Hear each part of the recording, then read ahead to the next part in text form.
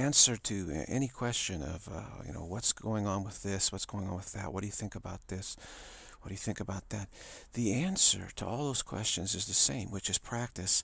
I am not a body, I am free. I am still spirit exactly as God created me. Practice this, and this will free you from all troubles of whatever situation seems to be going on in this world.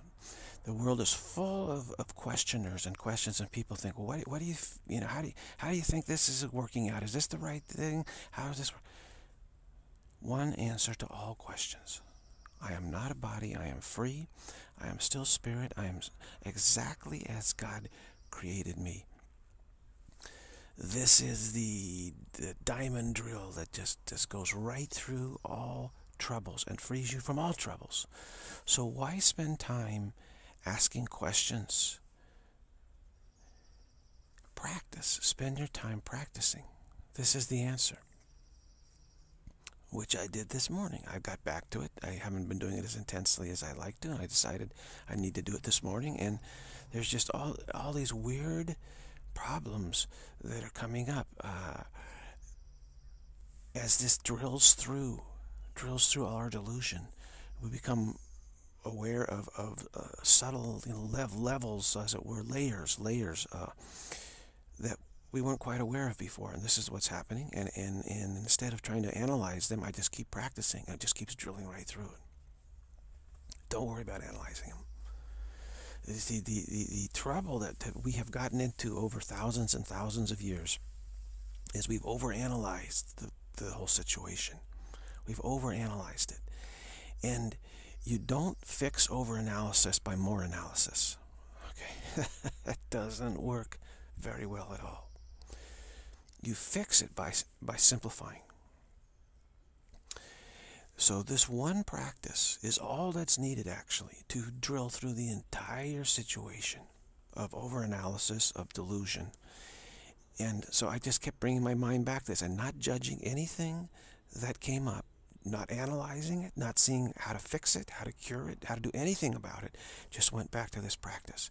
And before you know it, it's like a snowplow, you know, just goes through and all the snow is just pushed off to the sides. It's like plowing, plowing a path through through heavy snow. It's a snowplow.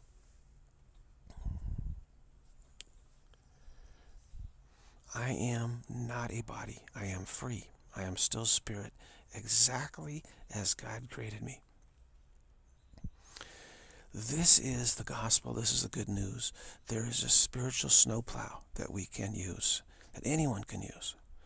And we don't need to get involved with all these contentious issues in the world. There's literally endless contention in the world.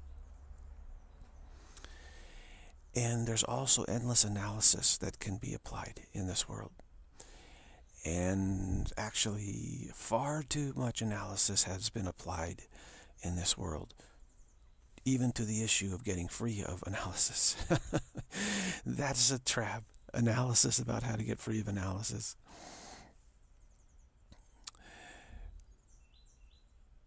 That can bring up a lot of problems and has and has brought up a lot of problems. If we all if we all just settle on okay this practice that's all we need I am not a body. I am free. I am still spirit, exactly as God created me. One of the most powerful prayers, assertions, affirmations that there's ever been or ever will be. Okay. Powerful enough. It's a snowplow. Now, you, there may be other snowplows that have a maybe manufactured by some other company, and there's a little bit of slight variations of you know, but it's still pretty much exactly a snowplow, you know, and so it does the same thing. Okay. Fine. But this, what we have here, is a powerful, sharp, effective snowplow, spiritual snowplow, that can plow through all delusion and free us from delusion, actually. Complete our spiritual reorientation, complete our transitioning back to normalcy. This is all we need to do that. So uh, in, the, in, in, this morning, in, in sort of light half sleep, I was having all these experiences of what's what some in historically have called the winds, the, the subtle winds of the body, and, and they've worked so much with all these subtle winds and, and, and, and historically in spiritual practice and meditation and stuff. And I just, I became aware of this. I said, oh, I've never been aware of this. Interesting. And then I went right back to practicing. Just keep on going, keep on going, keep on going. Don't worry about, uh, you know, trying to become a master of all the states, all the analysis of the path.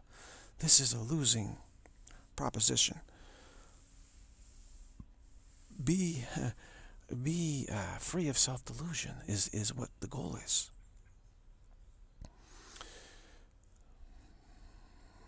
Realize, realize that nothing's ever been born. Nothing is ever separated from Godness. Nothing has ever crystallized pure spaciousness. Nothing has ever happened at all, actually, in, in, in terms of those terms of separation, crystallization, change of reality. Nothing has ever happened. And we just, you know, we look, we look out. What happened? What happens to people, and has happened, is they decided, hey, we really got to solve our problems here. Then they looked at the problems. What they saw was this road. They saw a road, but it was buried in snow. Absolutely buried in snow. And what did they have in their hands? Well, they had a snow shovel. They had a snow shovel.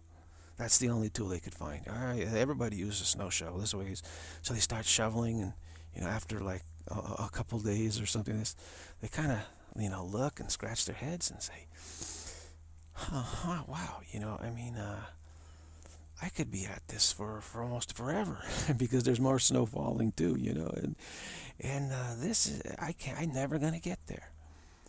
And then they, what then they turn, turn away from the path and say the path is nonsense. Anybody who says they ever complete it is crazy. There's no way to complete it. And we might as well just double down on delusion and see if we can make that work. Okay? this is where else can you go? If you feel you can't get free of delusion, you, what, where else can you go except double down on it? Because you got to do something because you're bothered by it. So the problem is, has been and is, not having the right tool to get the job done, or not being aware of, of the right tool to get the job done. But now we have this big, massive, powerful you know, four-wheel drive, double axle, snowplow. We get in it, boom, you know, turn it on, just go forward and all the snow just jet, jetting out both sides, freeing up a big, big, big, wide road, clean of snow, free and clean of snow. And the snowplow's going fast. And you're looking at this, you say, wow, they're going to be finished with, you know, plowing this road in no time at all. It's going to be, it's going to be open. This is the difference. This is the difference. So we don't need to double down on delusion, which is what the world is actually doing. I, I say the world has gone rogue. What I mean is it's doubling down on self-delusion, for sure. Very, very heavily. And there isn't any remedy at all for that except to, for everyone to look in the mirror and realize I've got to start asserting the truth. That's the only way. That's the snowplow, spiritual snowplow. I am not a body. I am free. I am still spirit, exactly as God created me. I am not a body. I am free. I am still spirit, exactly as God created me. It's the only way. It's the only way that is fast enough to get it done now. In, the, in this time, we're not going to spend hundreds and hundreds of years uh, with a snow shovel, trying to, because the, the snow keeps falling. We need a powerful vehicle. We need a powerful vehicle.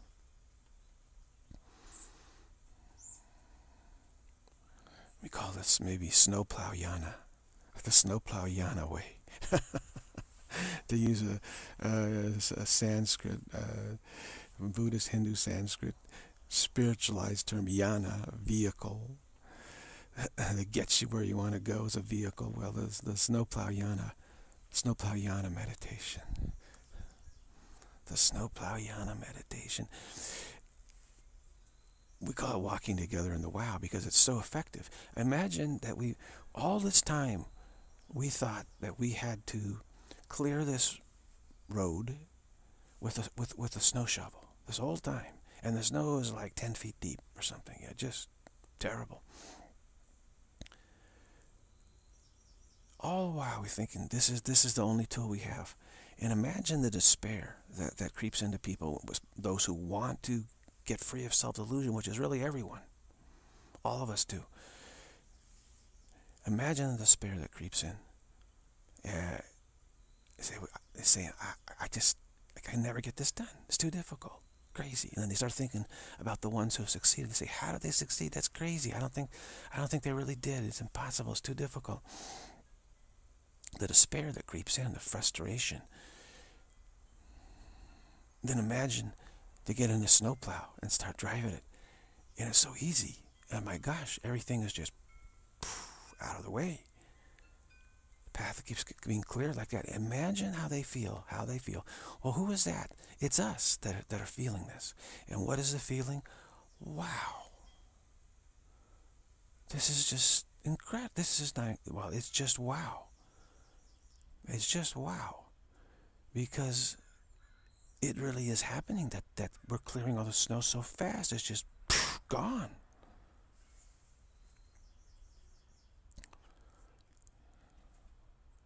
Snowplow Yana meditation is incredible.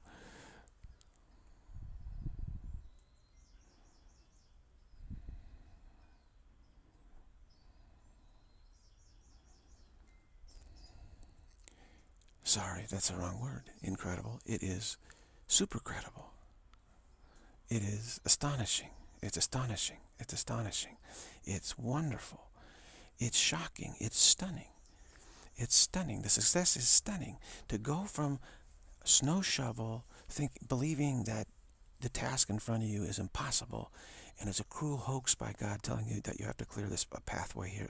And going from that to sitting in the driver's seat and just clearing the snow off in no time at all and realizing you're going to succeed very quickly in what you thought you could never succeed at. This certainly produces this wow feeling, a shocked, uh, uh, the success is stunning.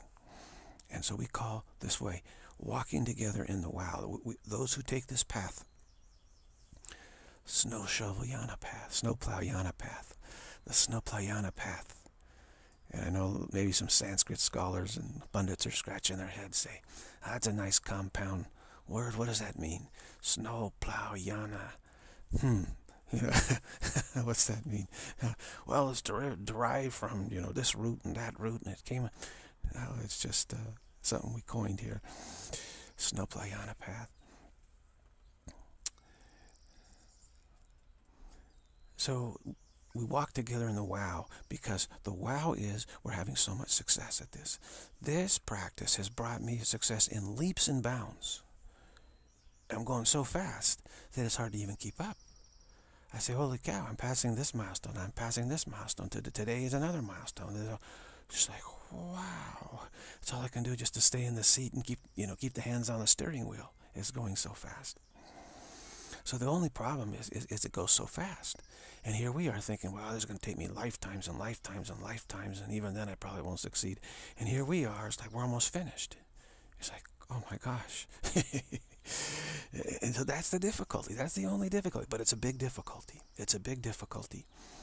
And it, it's one that requires our utmost seriousness and attention and will. Because, but, you know, we're, we, we kind of shaking. And says, oh, can I keep my foot on the accelerator? Can I keep going? I'm, I don't know. I, am almost done. I'm almost done. I'm almost done. almost done. I, I don't know if I'm ready to be done. I don't know if I'm ready to be done. And this is the trouble. It's, it's the continuity fear, as I say, is we need to manage our success. The whole difficulty is to manage our success, and we have to be super smart in order to do that. Super smart. And being super smart is full stop on the wow, where we, we just drop analysis of it all and just say, yeah, we we are succeeding this fast, and I'm a little jittery about it, and so I'm just going to uh, forgive myself for feeling jittery, and give myself an opportunity to kind of settle down. That's all. We don't start analyzing everything. You know, don't pull them, pull the analysis into it. Don't pull the emotion into it. Don't pull emotion or the analysis into it, or the reactivity, or the drama, or anything like that. Just kind of, you have to be really smart, full stop in the wow. And just say, okay, this is great, this is working, I'm, I'm almost done.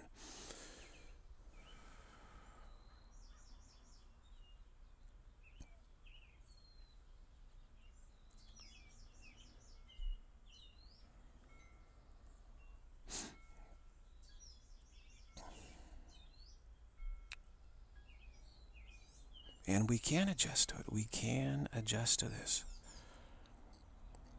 But it's work. It is work. It is work. Just because the path is, is very quick doesn't mean it, it, it doesn't entail a lot of attention and work. It certainly does. But that's better than trying to do it with a snow shovel and then giving up and become and, and then going rogue and doubling down on self-deception, which is what many have done, actually which is why the world is the way that it is right now as far as the attitude and the beliefs. And the beliefs of what your future should be. You see, there's so many defeatists in this world, spiritual defeatists, who believe that spiritual success is an illusion, that since they can't do it, nobody can, and anyone who claims they can do it is a liar and a deceiver, and, and for the good of the world, they want to eliminate this goal altogether and simply settle for trying to be happy with self-delusion. This is what's happening in the world as we speak. This is what is, we're being incorporated into this ideology. And again, it's the pride, it's the spiritual pride of saying, if I can't do it, then nobody can. And I don't want anybody doing it because that'll make me look bad, you see. So they want to pass all these laws, all of this expectations. They want everyone to get on board with agreeing it's not possible. This is the trouble we're up against right now in this world. It is a huge, huge trouble.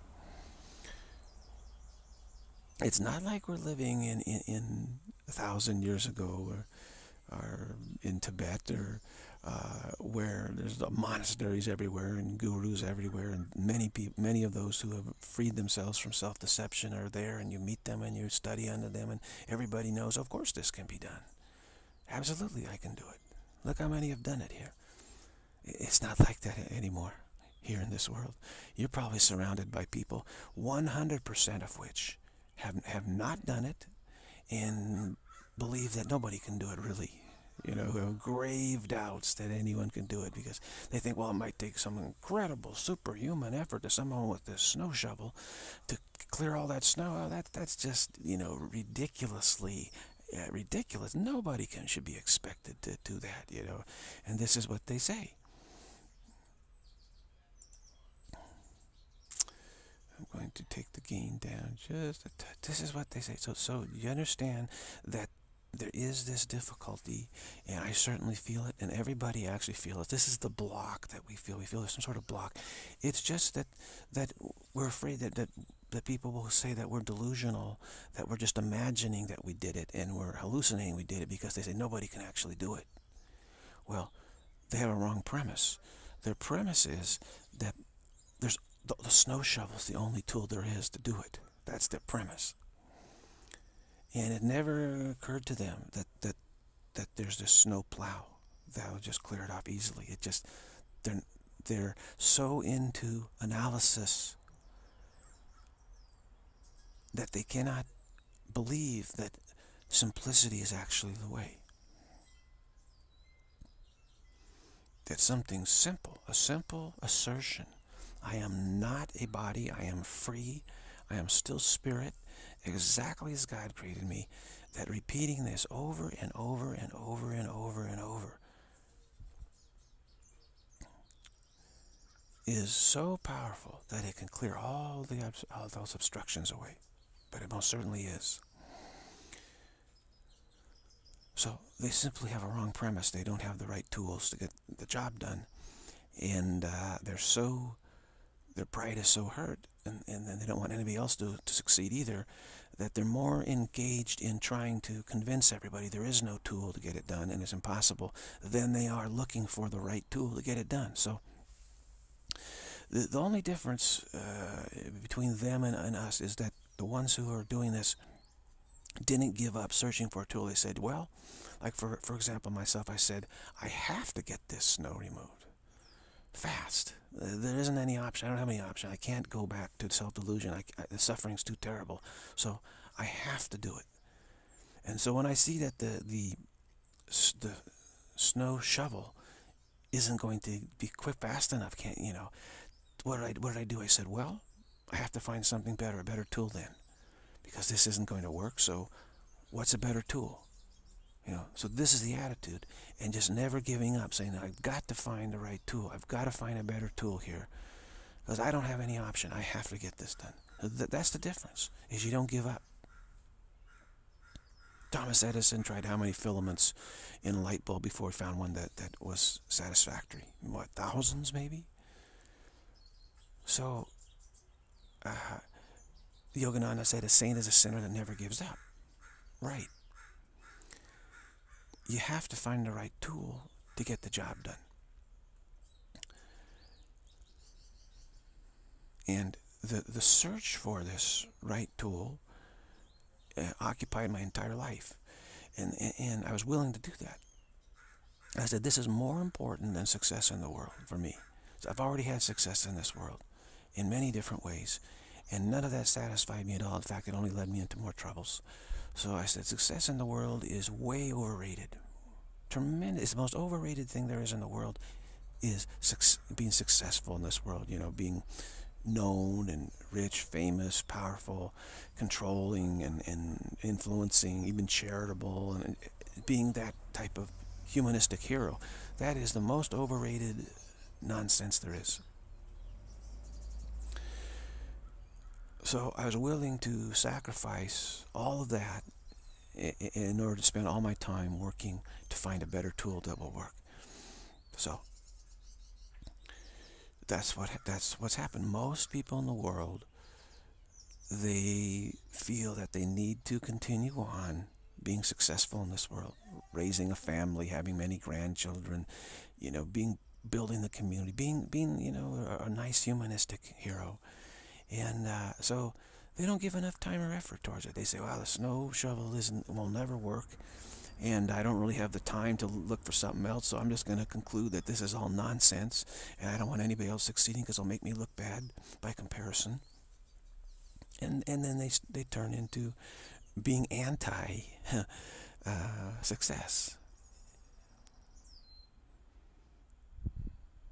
this is what happens in the world. This is what happens in a secular humanistic culture which values being a hero to, to humanism, to being a hero to humanism. Now, other cultures were not necessarily that way. The, the, heroes were the ones who spent all their time looking for the right tool to get the job done and getting it done. Society said, you're the ones who are the heroes, not, not the ones who are having families and having business and stuff. That was on a very much lower level of, of, of uh, approval. Society stratified in that way where those who, who were engaged in searching for the right tools, finding them, applying them, and succeeding were, were looked upon in the highest regard. And then the, the business class was a much lower regard, and, and the family people were a much lower regard, actually. And we certainly know that this world certainly doesn't need any more people. Uh, the idea that of trying to just build up as many people as possible on this planet, that is not a, an intelligent, wise direction the world is going. It should be going in a more monastic culture where the world puts its uh, approval on those who, who do search for the right tool, use it, and succeed, and put much less uh, approval for, to business and family concerns, humanistic concerns, and that would actually lower the population of this planet quite significantly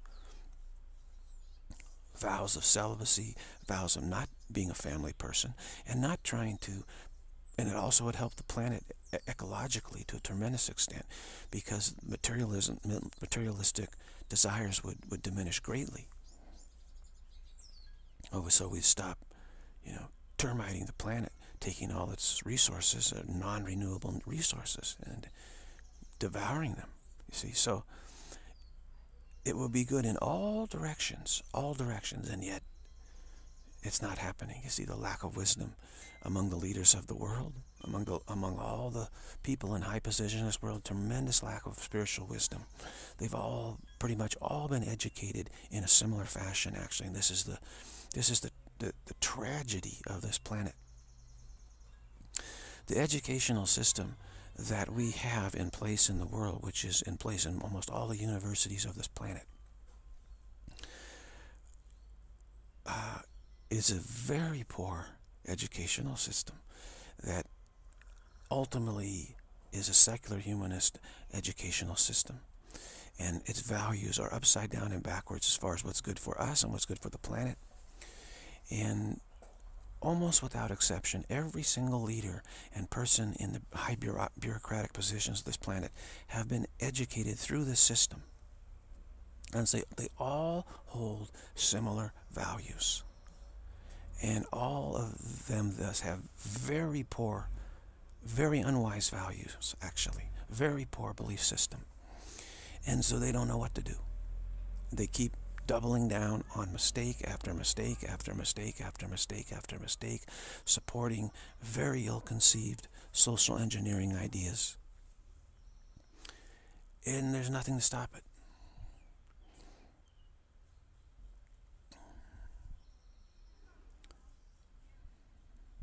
So when I say the world may be, you know, beyond beyond the point of no return, it's because of this. There, there's not, there's no diversity at all among the leaders of the world and among the top bureaucratic people in top bureaucratic positions in every country. There's no diversity at all.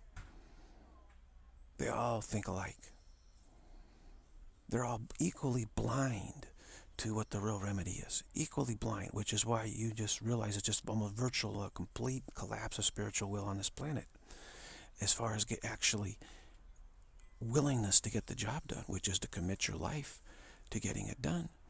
Which in the past, many, many, many did. Many cultures viewed that as the highest and the appropriate goal for everyone. All those who could do it should do it. And they supported that.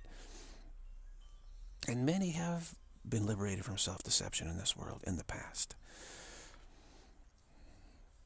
Not so many now. Not so many now. There are a few here and there, anomalies perhaps.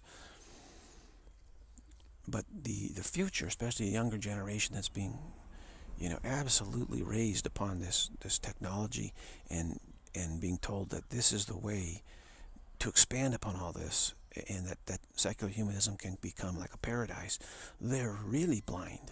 You know, they, they don't even have any connection to, to pre-technology, high technology world. See, they're not aware of it for the large extent, unaware of history, don't really care about it.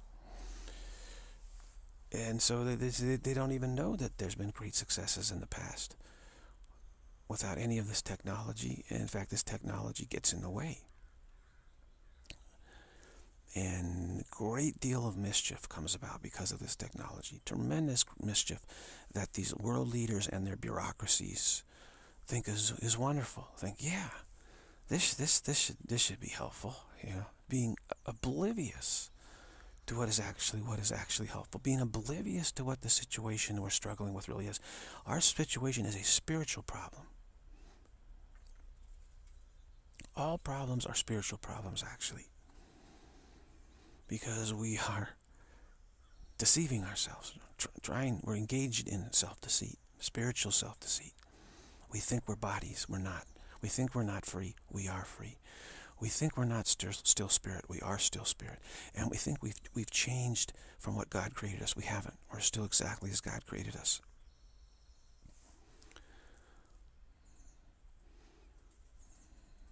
So they're blind on all four of these, you know, main accounts. So the way to snowplow through all this blindness is to say, I am not a body, to assert it. I am not a body. I am free. I am still spirit, exactly as God created me. One, two, three, four, boom.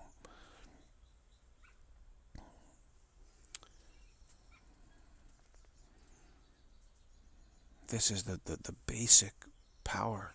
Uh, all this is this is all anyone needs to do actually.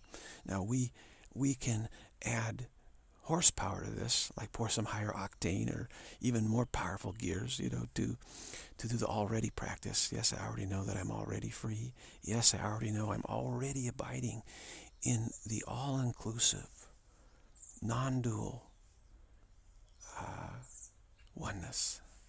Okay? Unborn oneness. The all-inclusive, non-dual, unborn oneness. I'm already abiding in the all-inclusive, uh, non-dual, unborn oneness.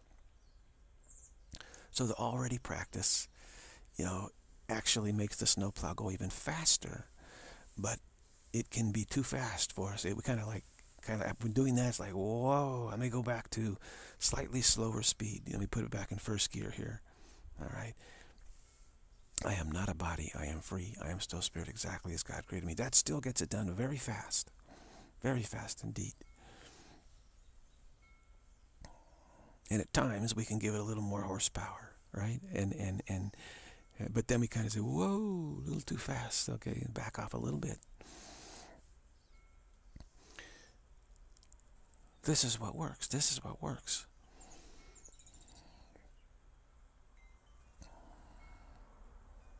And you begin to have clarity. And it's like, hey, this is the same clarity that's, you know, such and such uh, thousand years ago had, you know, or it's getting right there. And you say, yeah. Well, they just used appropriate tools too at that time. Although, back in those times, uh, it seems that some of the some of the ways were a little slower. That some were faster, some were slower. But they certainly found some good good tools also.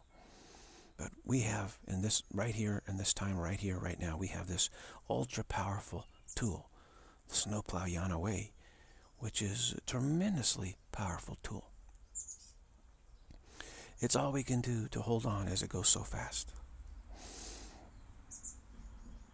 And I was just afraid to use it. I said, wow, you know, this, this might result in my success so fast that people will really say, ah, you're a liar and deceiver. Now here, here is the problem. Okay, let's follow along with this. Those with a trying to use a, a snow shovel realize they're never going to get it done. It'll take ridiculously long time. So they have extreme skepticism to anyone who succeeds, right? They say, ah, you must be lying. Now,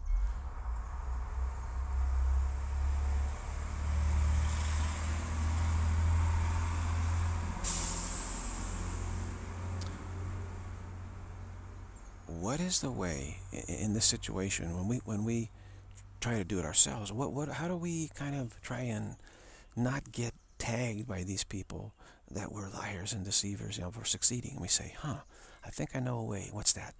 Well, to take as long as possible to appease them, you know. So I say, well, it took me, you know, 50 years of really super hard work on the path to succeed. And they'll look at you and say, well, you know, I don't know how you did it. I still think you're a liar and deceiver, but but you're not as bad as those those ones that you know did it real fast. You know, they they're obviously crazy. So nobody wants to go first because then they'll be the benchmark for someone going too fast. You know, nobody wants to stay and say, hey, hey, I'm done and I'm liberated, I'm free. And then the, the naysayers will say, oh, you're, you're a liar and deceiver. And then other people will say, well, I took longer than they did, so I'm not as, I'm not lying as much as they are. You know, don't put the heat on me. Put the heat on the one that went first. So nobody really wants to go first. This is this is a trouble. Because then there'll be a lightning rod for the naysayers.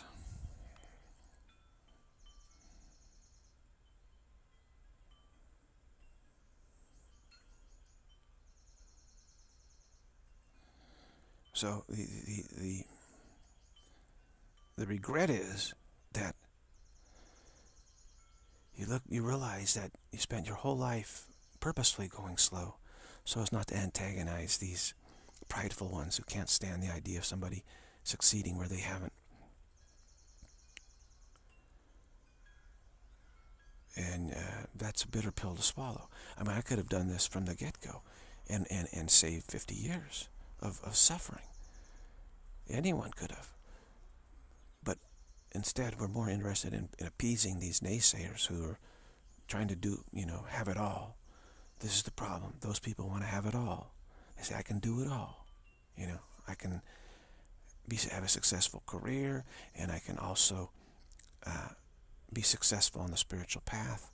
Uh, equal attention to both. I can be successful in every which way. And then they fail on the spiritual path. And then they end up saying, well, I didn't fail. It was impossible. You know, so, and that anyone says they succeed is a liar. These are the, this is the troublesome attitude here in this world. That people really have convinced themselves that there isn't any way to succeed.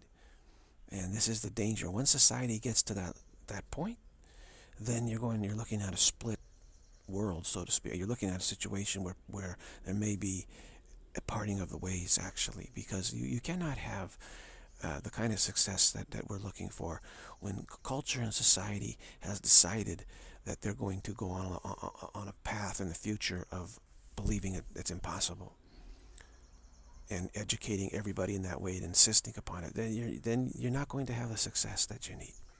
That's for sure. Becomes prohibitively difficult in, in, in many ways. Marginalizes uh, people too much. So we'll see what happens. Uh, we'll, we should find out fairly soon.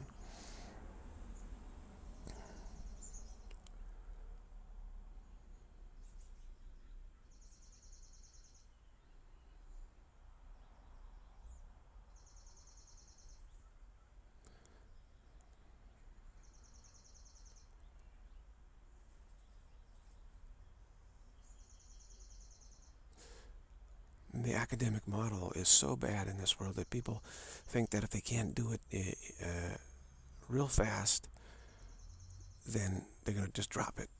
Now, this work, this, I am not a body, I am free, I am still spirit, exactly as God created me, works really fast. But who's actually going to, to apply it, you see? Actually apply it. Someone might do it for a few days and then say, oh, it didn't work in a few days. You know? No, because you have to manage the success here.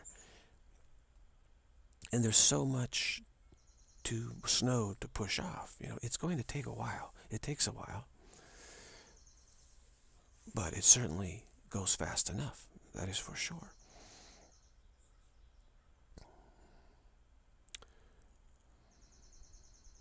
But in the past, you know, people thought nothing uh, uh, uh, young children would decide that the parents and the young children would say, you know, you, you can be a monk or a nun, and that's your life. And they everyone say, great. All the relatives and, and village people would support it and say it's wonderful. And so they just grow up in that system, educate. They start from education from the very beginning, meditating, doing this, and, and getting acquainted gradually with with realizing that, that there are the tools that can get it done. And the more they the more they get educated in this, the, the, the better tools they use, and ultimately they'll come upon a, a tool, a way that is super fast, and then they'll finish. This is how it is. So you certainly need to be committed uh, to success in order to do this. Committed to success, meaning you're going to be free of, of self-delusion. You're going to be uh, liberated. You're going to be enlightened. You're going to be a saint. You're going to be a bodhisattva. And you're going to be an arhat. Uh, you're going to be uh, an enlightened one, you know, for sure. Absolutely. But in the past, there were many, many such.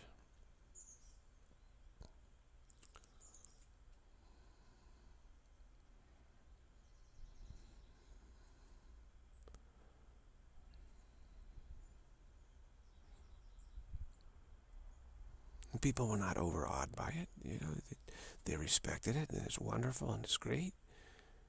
But it was part of the, the culture, part of the culture that people said, yeah, of course. Of course there are many saints.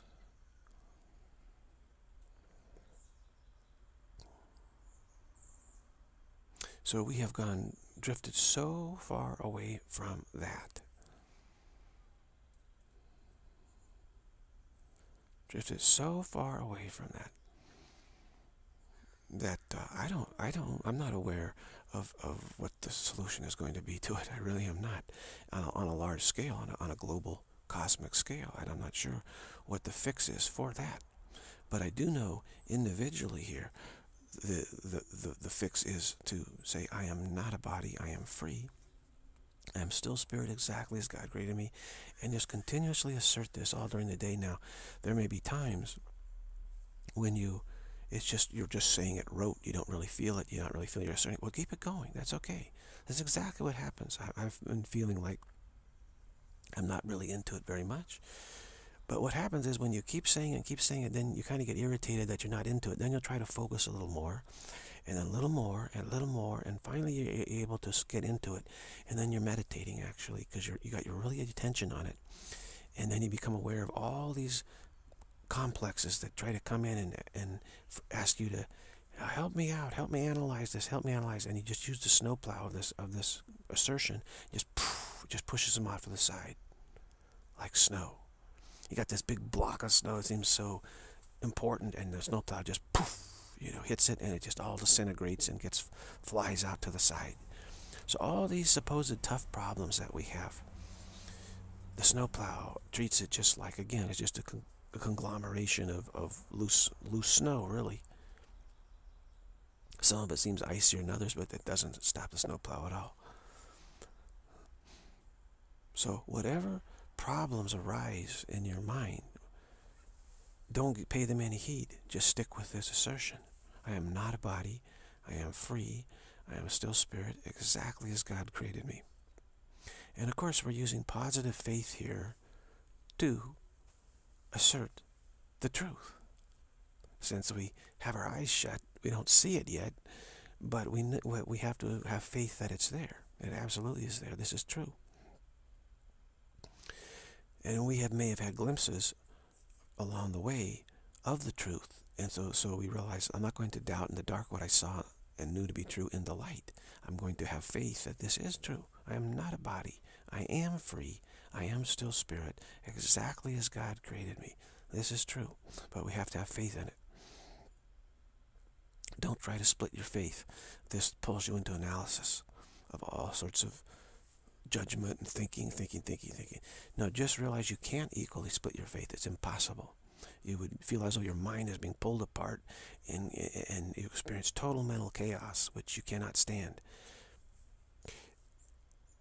Therefore, you're going to give faith more in one direction or the other. Okay, It's impossible not to. You're going to give faith more in one direction or the other. And so whatever direction you have more faith in, that's the direction you're going to be going in. Now you may you may be going slow at first because you may have a little more faith there, so you're kind of going slow, but you're still going in that direction. And the more you go, the more faith you put into it, the faster you go. So you're either going to be in one direction or the other. Either you're going to double down on self-delusion or you're going to liberate yourself from self-delusion. The way to liberate yourself is put positive faith in asserting the truth that's already true. All this is already true. We're not fixing anything about truth. Truth has never been broken. The fact is, we've always not been a body. We've never been bodies. That's already true. So I am not a body, I am free. We've always been free, actually. We've never been bound at all. We're, so we're just asserting what's already true. I am, I am free. I'm still, I'm not a body. I am free. I am still spirit. Again, we've always been spirit, so we're still spirit. And I'm exactly as God created me. Again, true. We've always been exactly as God created us in spite of all these pretensions to the contrary, which are simply pretensions. We've never fallen into some uh, deep, dark pit. Okay, one moment here.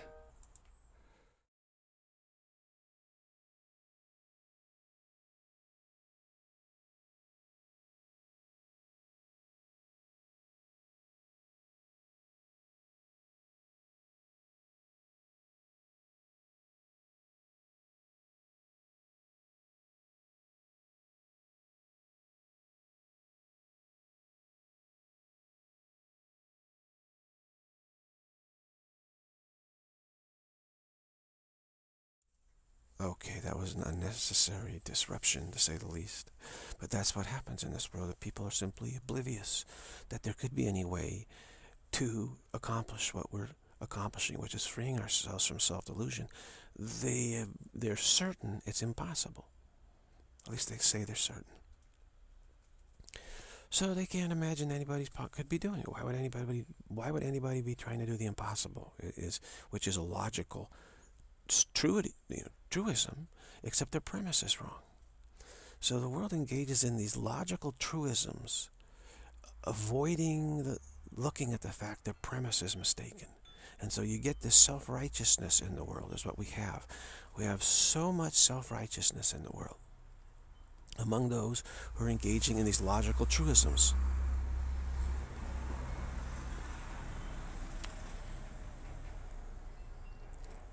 And refusing to even discuss the premises, look at the premise and see if it's right or not. They say, no, no, no, no, I know it's right, I don't have to. Now I'm, I'm, I'm right about this logical truism. I'm right. Well, you're right about the form of a logical truism, except you're wrong about the conclusion because the premise is wrong. But self-righteousness is a defense against looking at your premise. And this is what we have. We have a self-righteous world. Very unpleasant situation to say the least. Again, the big the big fix of it is I don't know how that will work out. The short-term fix is for us to free ourselves from self-delusion. But can we do it? Uh, of course we can. We have the tools to do it, but does anyone have the will to do it? to, than to be, you know, a lightning rod for, for um, criticism. Yeah. Who wants to be a lightning rod for criticism? I don't think anybody really wants to at all.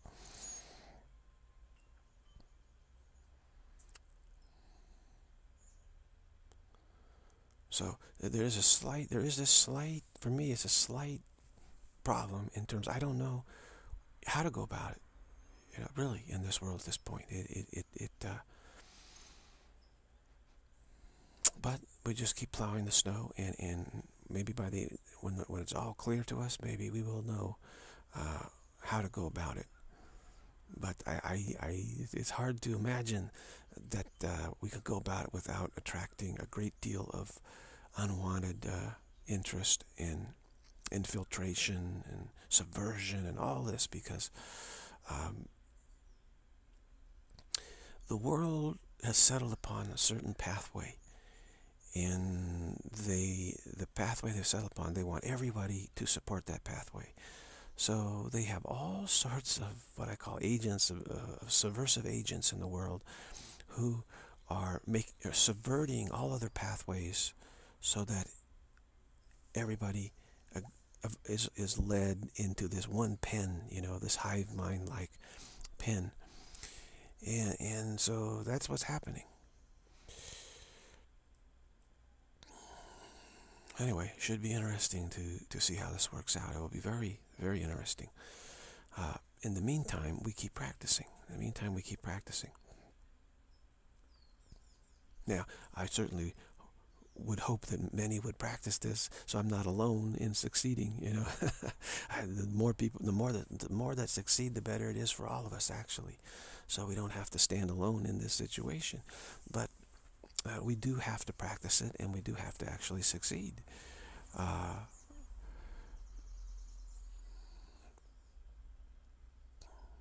for me, I'm tired of waiting. I've, I, as again, this, this how we tricked ourselves. We're trying to appease these people by not doing it too fast, so as to not ignite too much wrath from them.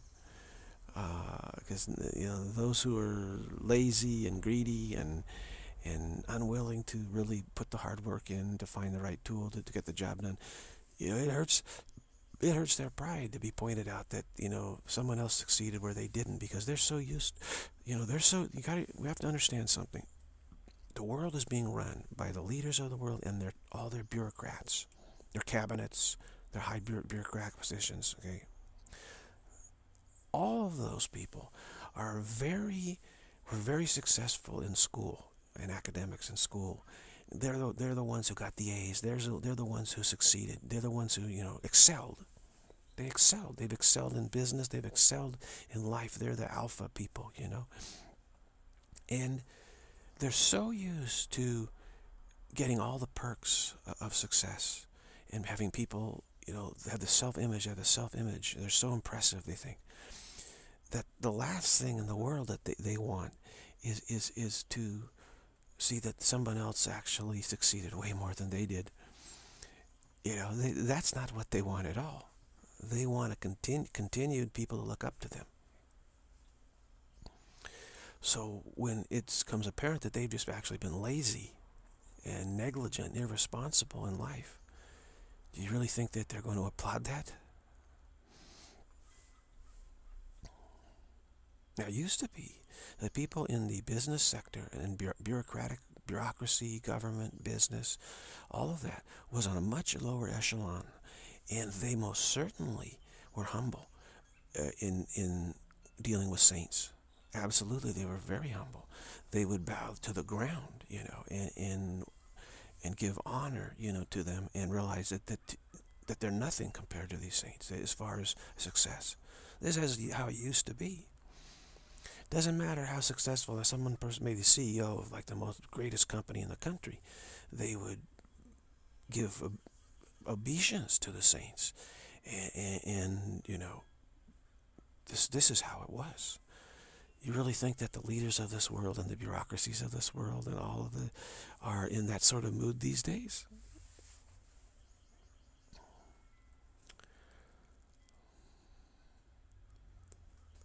No, I mean, just look back to the clever ones in your classes in school who, who always found a way to work the system, get the good, get the advancement, get the good grades, you know, get into the right schools.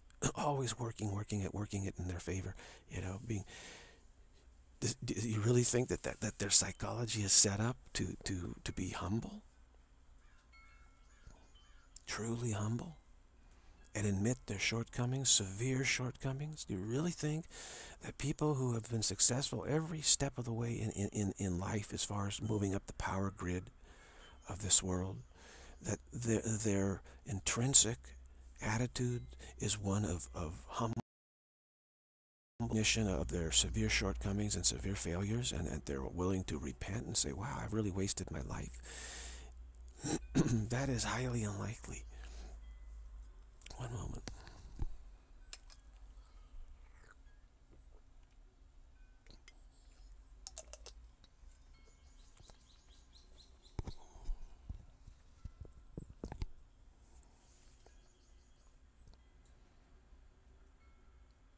It's a very funny thing that in the past we had all these kingdoms ruled over by hereditary uh, monarchies throughout the world and the people were born into those, and so they got the positions because of their birth, not because of any uh, academic attainments, so to speak. But the funny thing is, is that these people were much more willing to bow to the saints and, and to what really works. They did not have this built-up arrogance that the modern mind has, because they said, "Well, I didn't, you know, I mean, I didn't earn this. This is just my responsibility because being born I'm, I'm, responsible for doing this. Says that doesn't mean that I'm some, I'm you know some high and mighty person who knows all the answers. No. So they're much more willing to to to ha have a humble attitude and even repent and say yeah I'm a, I'm a I'm a I'm not very good. I'm not a good person. I'm not very that very good and I, I need help and I'll listen to spiritual teachings. Whereas today the all the people in control of this planet are there because they feel that they have uh, achieved, achieved, achieved, achieved, achieved, achieved their way into that position. So they're hardly likely to admit that they really haven't achieved anything of any significance whatsoever. And they need to recognize this fact. Extremely unlikely. So paradoxically, we have the, the type of governance that used to be in the past actually worked much better for society as a, as a whole. There are many, many more achieving liberation from self-delusion and, and giving that back to the community, okay, in many, many ways.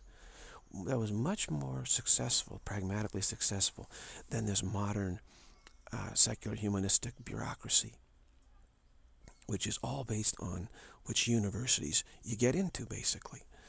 One moment.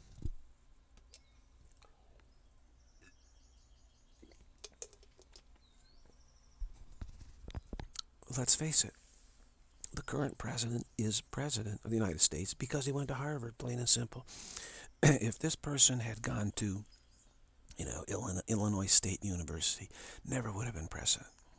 No way possible. It is precisely by going to the right university and aligning up the right power structures behind you and the, and the status that this acquires.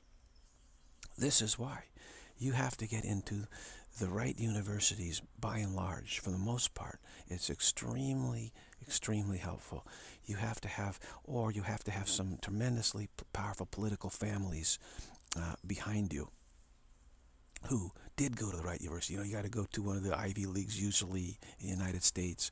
Uh, so it's all about status and getting into getting into the right academic institutions throughout the world. I remember I was in Japan, and you had to go to Tokyo University if you wanted to be in the government and have positions, high positions in governance and bureaucracy and business.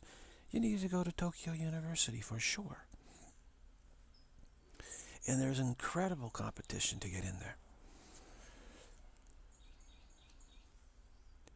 And these people were not paying attention to their spiritual careers. They were one pointedly focused on getting into Tokyo University. That is it. And doing whatever it took to get in there. And that means being completely lopsided in their development, being blinded to what is more important that meant then they'd sh shut it out entirely. They'd shut it out entirely. So this is what happens, is you get these people who are tremendously imbalanced, uh, putting all their eggs in one basket in order to get into these institutions to serve their own ambitions. Let's be honest. Those people who are leaders of countries in high bureaucratic positions are extraordinarily ambitious people. Uh, and so they put all their effort to get into these institutions by hook or by crook and they don't have any spiritual wisdom at all. They haven't spent any time with it. See, their idea is that they're so smart and they have a degree from Harvard that pretty much whatever they say, they, other people are supposed to just think, oh, you're so brilliant. So they think they can spiritual truth. Oh, no problem. I'll just, uh, I'll just uh, look at. Give me a, give me a book here. Look at this. Okay, this is this is how I see it. And everybody goes, oh, unbelievably wise. You know, wow. Look at that professor from Harvard. He's so smart. This is the condition. You know, society's conditioned to do that. And this is called professing. Professing. See, professors, what they profess? And everybody, we've been conditioned in order to get good grades and raise our status to applaud the professors. You know, oh, professor, you're so smart. In fact, you're brilliant. You know, and the professors, it's a complete scam. It's a scam, these professors.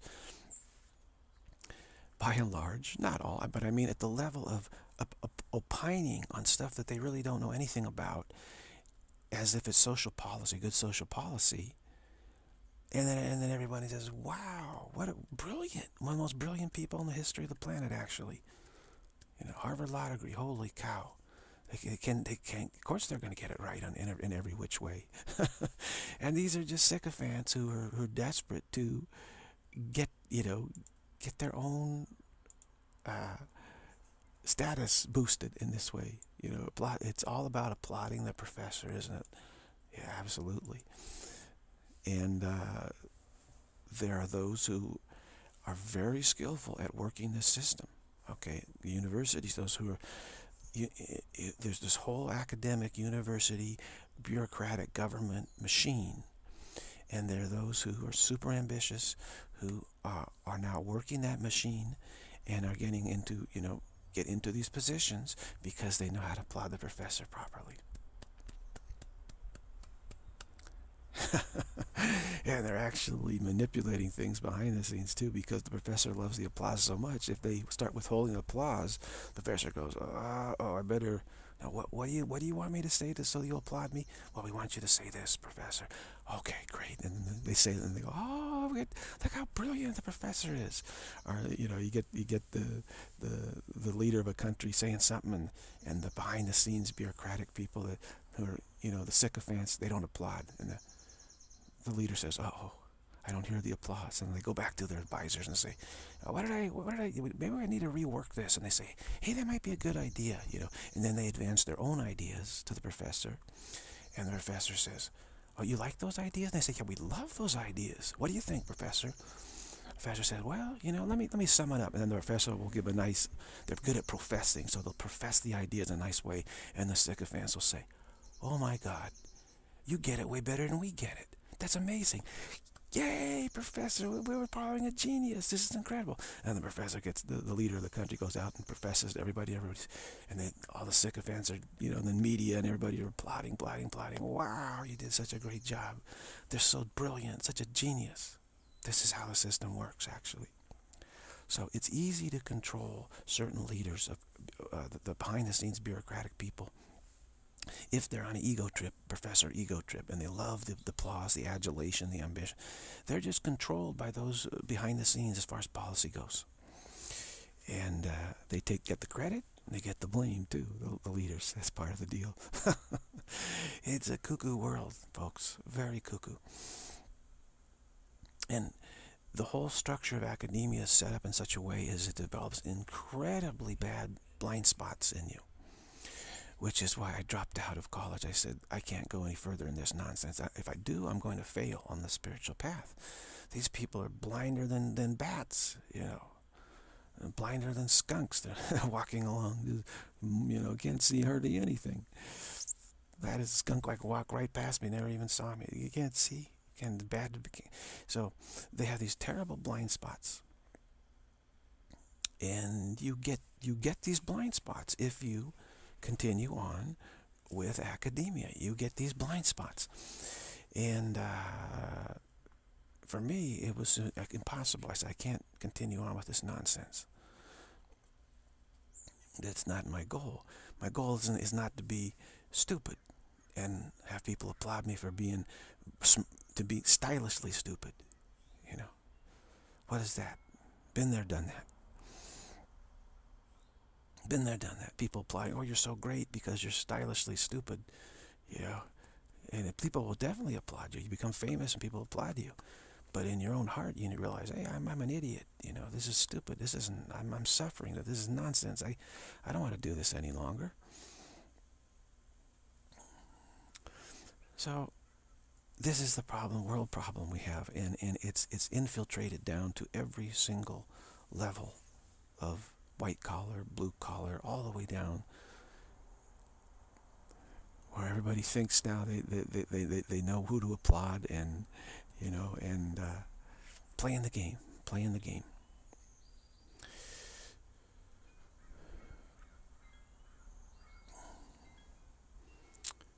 So we need to at least smile about it a little bit here, which is I like to do, is, is you just you look at it, we're flipping the script. Can we get enough courage to actually li be liberated from delusion? Liberate. We can certainly do it. This, this assertion will certainly liberate us. The only question is, will we do it? You know, we say, oh, I don't know. I'm not sure about that because uh, nobody will be applauding, that is for sure.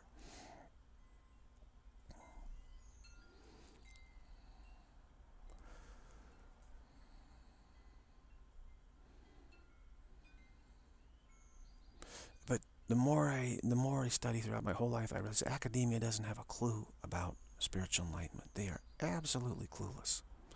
I look on Wikipedia and there's all these like professors interpreting, for instance, Eastern religion, you know, or any religion. And a professor such and such says that uh, that they they and that this is says this is what they're really getting at right here, and it's like what the completely cuckoo about it. And yet they're professing, professing, professing that they understand what, what they're actually getting at. You know, and what it all is is what they're really saying here is that secular humanism, humanism is really the right way to go, and is all along has been the right way to go, and that's actually what they were trying to say.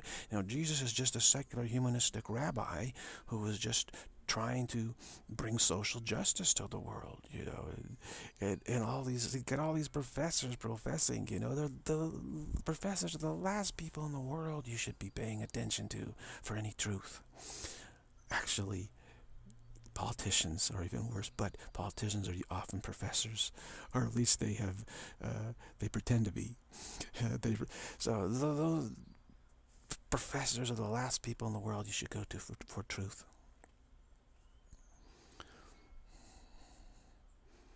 Bureaucrats, politicians, professors, television, movie, the whole, and they control all that. That's all part of the control system, actually, telling us, you know, what what social agenda we're supposed to be following. That's the last place in the world you should go to for any answers whatsoever.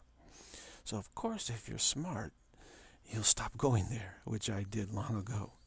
And, and, and I said, I don't care, you know, I, uh, what grade you give me? Give me an F. Let me let me let me drop out. Let me flunk out if I need to. I tried to flunk out of high school actually, uh, because I said this this is the wrong way. This is the wrong path. This is a this is a disastrous path. But I was in accelerated courses so that they couldn't flunk me. they couldn't flunk me. Uh, so I mean, I, I, I they, you know, I, I turn in tests with I didn't even mark any answers. I just they give me the, every test, and I just sit there and I wouldn't even do anything. I just turn in my test and say here, and they'd give F, you know, but they, they couldn't flunk me because I would just tell them, hey, this this stuff you you this this academia is not the way. This is for flunkies, actually. You know, I don't want to be a flunky, basically in life academia, business is on a much, much lower level than spiritual clarity, way lower level. Again, not even comparable. So I, I don't want to be a flunky. That wasn't, you know, that wasn't my purpose in life. So couldn't flunk out of, of high school.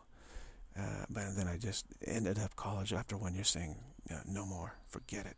This is uh, so sick. I, I got sick, super sick, that my, my body was telling me my, that my mind couldn't stand this anymore. You know, my body was just reflecting how my mind felt, which was horrible.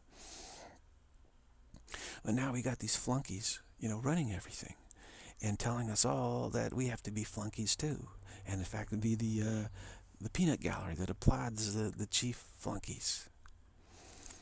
Yeah, so it's not a nice situation at all. and so we're all ears in terms of what our options are for sure.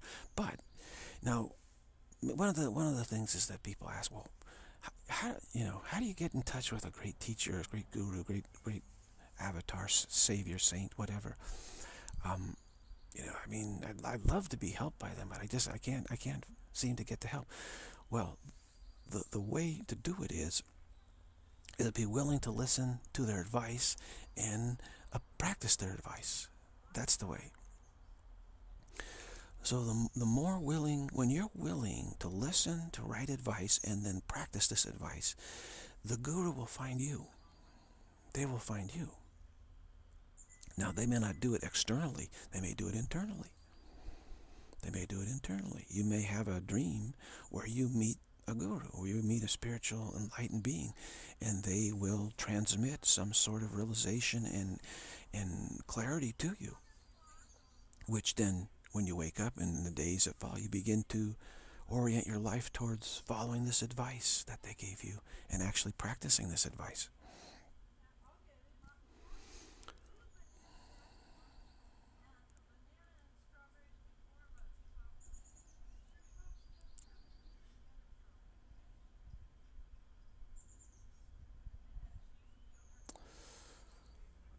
So we don't want to. I don't want to dig into the, the, the, world situation too much because that can really expand and expand and start and get in, get into some real hot spots. You know, the the flunkies don't like being outed as flunkies, to say the least, and some have very thin skin and take great offense at uh, not being applauded. Oh look at, oh look at your ideas. They're so fashionable. They're so wonderful.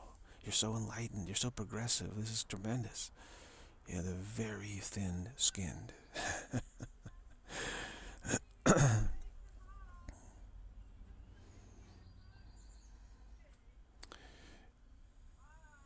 but that doesn't mean we won't say anything. I have in many videos outed the whole situation, but right now I could actually out it even more so, so potently that it might be a little too strong, actually. Having seen what's really going on there are certain sensitivities right now in this country and around the world that if you actually brought it to light what's really going on, they might actually have a stroke, you know. They would be so upset. Because the key components of how they think that they're going to be happy with self-delusion, uh, if you bring those to light and show how ridiculous they are, you know, that might just be too much for them, actually. Blow a gasket, blow a fuse, you know, tear out their hair and just, you know, go crazy. I certainly don't want that. Uh, so have to be careful about it.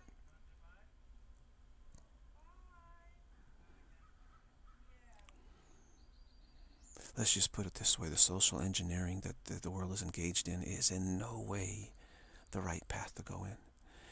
Is a very, it's, it's an, it's, it's a experimentation. It's a path that those who are like have spiritual dementia are looking at and say, hey, that should work. You know, that should work. I think this will work. You know. the path that works is for us to have no interest in bodies at all. To say, I am not a body. I am not, and, and to drop interest in bodies. This is the path that works, actually. That's not the path the world's going in, actually. They're shuffling in the interest in bodies around. Okay, they're shuffling it around thinking that this is going to work. But they're not, all they're doing is shuffling it around. They're not actually going at the root of the problem at all. Not at all. So it's bound to disastrous results. And uh, the children and grandchildren, you know, future generations pay the price of their folly, to be sure, and their own folly too. Uh, the emphasis is I am not a body. In fact, I've never been a body. And in fact, no one is a body. And in fact, no one has ever been a body. And in fact, there aren't any quote unquote real bodies at all. And this is something that people say, how can I understand this? It is very understandable. But one has to clear the pathway, you know, to that clarity. You got to snow plowed out of out of the way.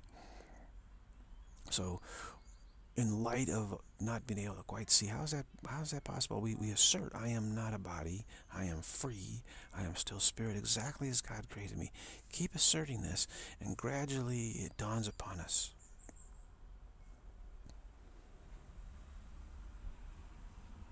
In fact there are no bodies at all. Is impossible everything is just a fleeting apparition so to speak mere appearance not mere non-crystallizing appearance in pure spaciousness that never attains what we think of as, a, as body status, as thing in itself status. Never. There is no such, there is no thing in itself status.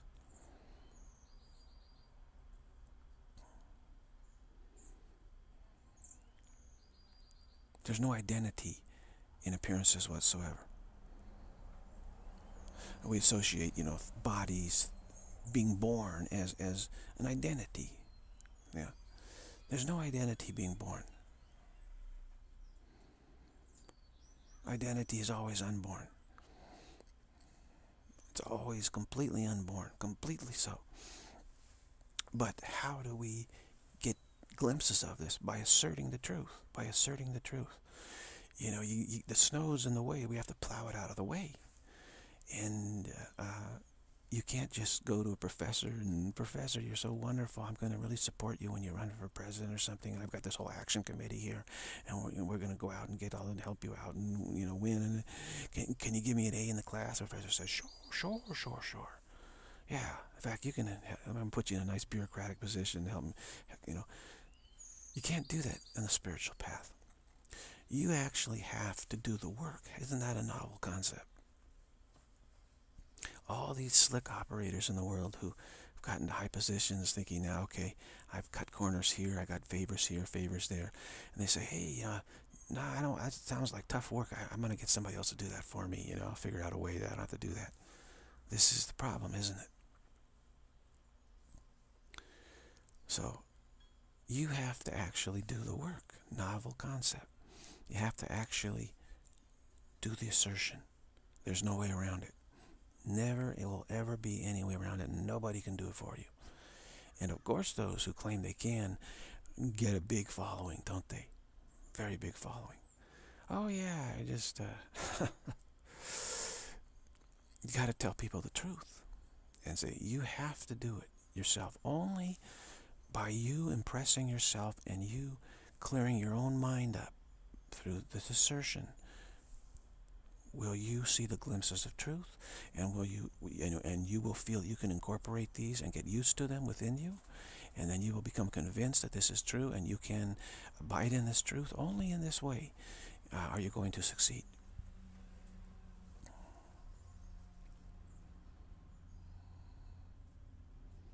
now I see, I see in business in the workaday world is that the people up on top are very slick at delegating the difficult things they don't want to do to someone else. And those underneath them are very clever at saying, hey, I don't want to do that either, and shuffling down to someone else. And that someone else says, I, need to find somebody who's going to do this for me. You know, I don't really want to do this, and that goes down. And so it's actually the person on the bottom that these really nasty, difficult situations fall into their lap, and there isn't nobody else they can't delegate to anybody. And so they're supposed to, to do it. You know, the problem is that the other ones just don't want to deal with it. It's uh, too sticky, this tricky. Uh, goes down to the one on the bottom, which is where I am in the chain. So you get these, you know, stuff that's like, ah, we can't find it anywhere. Uh, but uh, you need to find it for us. so this is how the world works. Is people try to avoid at all costs the tough work. Now, again, this assertion is tough work. Why?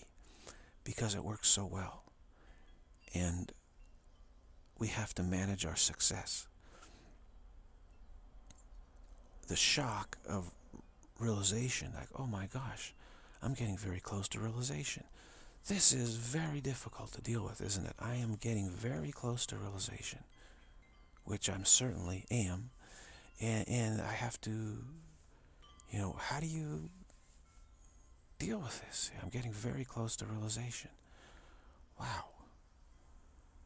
This is very difficult. Who, who, who in the world has this problem? You know, very few, right? That I'm getting extremely close to, to, to realization here.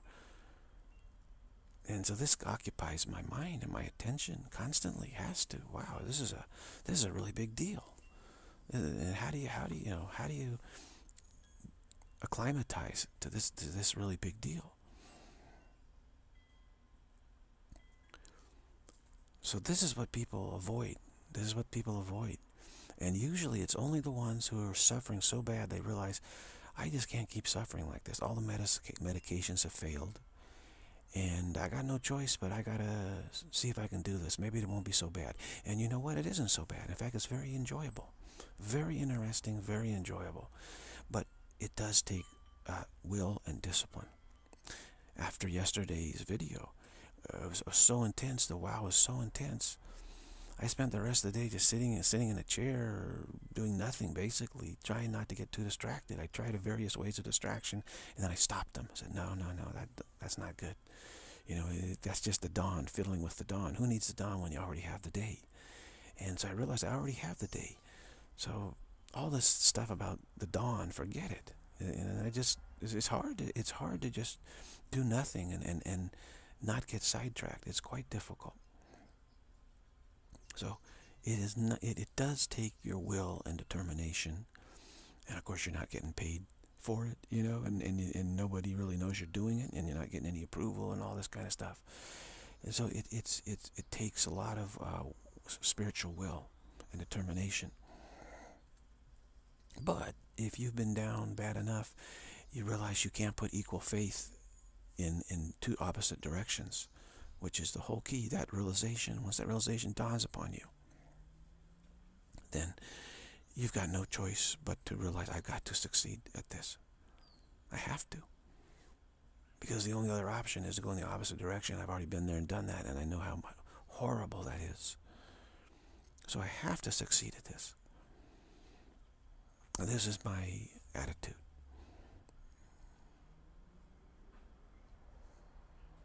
I'm just upset it's not going faster. I mean, this, but you know, it's going so fast I can hardly stand it. So it's it's a very tough, very tough to to feel you need to go faster, but you're already going pretty much as fast as you can possibly stand.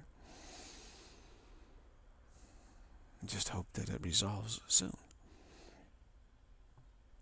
Hope what resolves? Your perception. Perception. Open your eyes, you know, to see that all is God. That's all. All is God. All is pure spaciousness. You know. Uh, where's there a prop I can use? This piece of this piece of paper, piece of paper. Eyes a piece of paper. This piece of paper, what it occupies space, right? It occupies space. As I move it around, does that affect the space? And this body occupies space. This background, everything occupies space, right? Everything occupies space. This, this, this bottle occupies space, right?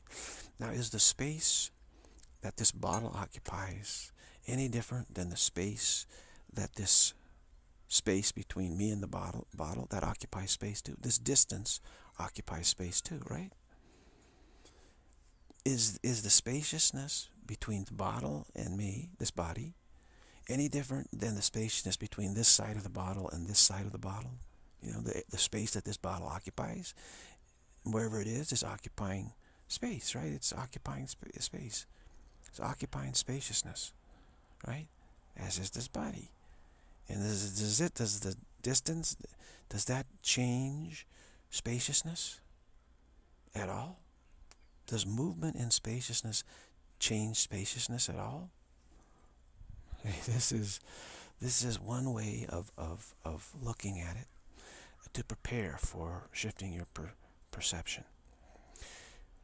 When we begin, when we, uh, the way to shift perception ultimately is when you begin to give more credence and, uh, to spaciousness than things, then that enables your perception to shift to spaciousness, which is essentially God, actually. It's Godness, okay, the all-pervasiveness of what? Pure spaciousness. Everything is equally occupying spaciousness, right? Because there's spaciousness does not stop at this bottle and begin again at the other other side of the bottle, does it? No, this bottle is exactly 100% within spaciousness, as is everything else, as is space is also in spaciousness. Right? The space between the bottle and me, you can say that's that's also occupied spaciousness. Spaciousness is an idea in the mind of God, so to speak. It is the idea of God, God being all all inclusive, all pervasive, all inclusive, seamlessly so, absolutely at, at rest. Nothing, no dancing in spaciousness changes the fact that of spaciousness at all. Movement in spaciousness doesn't, spaciousness is not moving at all. As everything is moving, but pure spaciousness is not moving one tiny, not the slightest bit ever realization of this, you might say nirvana. You shift your attention and you see nirvana. Is spaciousness, pure spaciousness.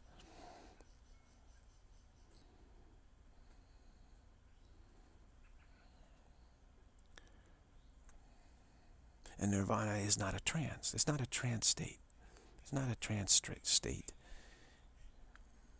You can have your eye, your eyes wide open, uh, and but you're you're you're emphasizing the spaciousness. So in the few times that I did shift my perception, it was because I was emphasizing uh, spaciousness.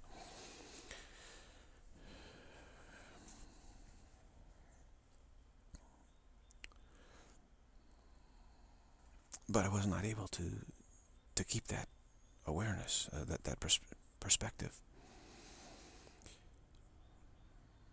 So I had to I realized that I got to plow. I got to plow the snow out of the way. There's a lot of uh, resistance. So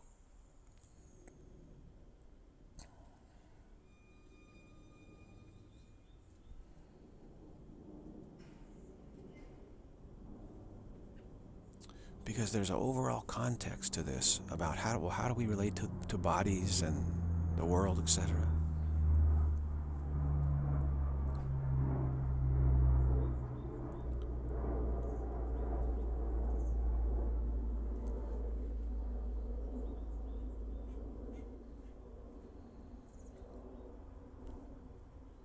we think that all this motion, all these things, all this activity of appearances in, in, in pure spaciousness is somehow affecting pure spaciousness. It is not true. Pure spaciousness is not moving in the slightest bit. I mean, the fact that you, you can move this, move this here and like this, and uh, is pure spaciousness moving? Is, is it changing? So we say, I am still spirit, exactly as God created me. Haven't changed in the slightest bit.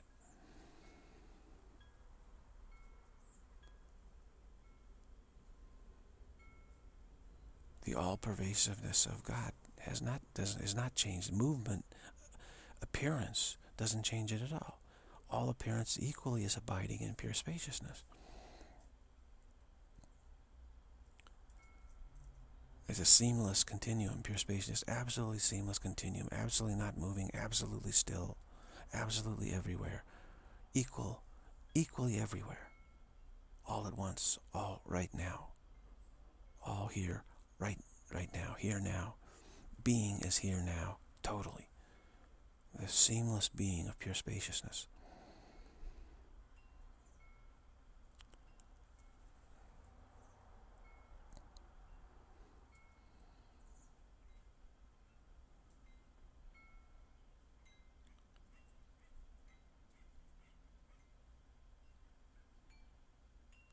See, we think that what we call bodies, what we call bodies is a belief that, that, that somehow there are boundaries to pure spaciousness and qualities to it, that, that, that, that these bodies are giving qualities to pure spaciousness, change, changing it, rearranging it, etc., which is not true at all. And since none of that is true at all, you can't really meaningfully say that these are bodies that there's things, these are identities, this is the, you cannot really say that at all. It's, it's a meaningless statement.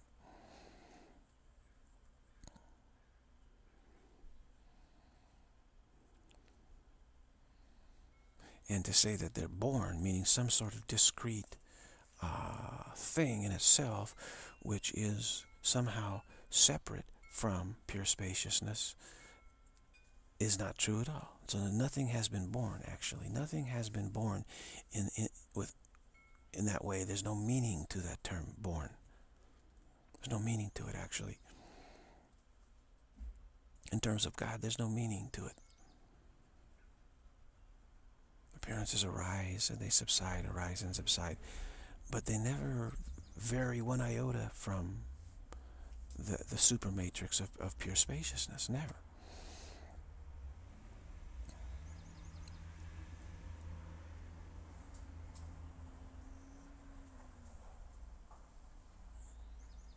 So, what I find is that we can practice pure spaciousness and maybe shift our perception, then we get pulled back. It's all these complexes and defense systems we have that we need to plow out of the way. And it's this, I am not a body, I am free, I am still spirit, exactly as God created me. This is a meditation. Meditation is like a snowplow. And it plows these complexes away and you get, you realize, hey, I, I'm not stuck in all these defenses. The more we realize this, that, that we're not stuck, our mind can get free of all this, the more we, we start to decide, hey, you know what, I can abide in non-dual perception, right? Non-dual perception. Me meaning there are no exceptions to pure spaciousness everything is abiding in pure spaciousness already. There's, there's no attainment involved. You see, you, you have this relativistic, you know, battle, competition between light and dark, and both the light and the dark are already equally abiding in pure spaciousness. All is. So how do you attain pure spaciousness? How can you attain to it? How can you get to it? How can you arrive there? You can't. You're already there. As Buddha said, the wise are already on the other bank. They're not, the, the unwise are trying to find means to cross the river. The wise are already on the other bank. I mean, we're already in pure spaciousness. There's, there's no attainment necessary. I already know I don't need to do anything. So obviously those who, whose entire lives have been built on the premise of attainment, the, the bureaucracy and, and the heads of bureaucracy and the, the heads of state and all these, you know, this massive pyramid of academia, you know, their religion is achievement is their religion. Achievement through being smart, getting there, climbing there, where the whole principle of spiritual path is realization is I realize I don't need to do anything. I'm already there. I'm already there. So the two the two paths are in opposite directions. Opposite directions. Why? Which is why separation from church and state is so important, and we don't have that really anymore in the world because the de facto laws and rules and culture and everything is being dictated now by the the state, dictated by the state.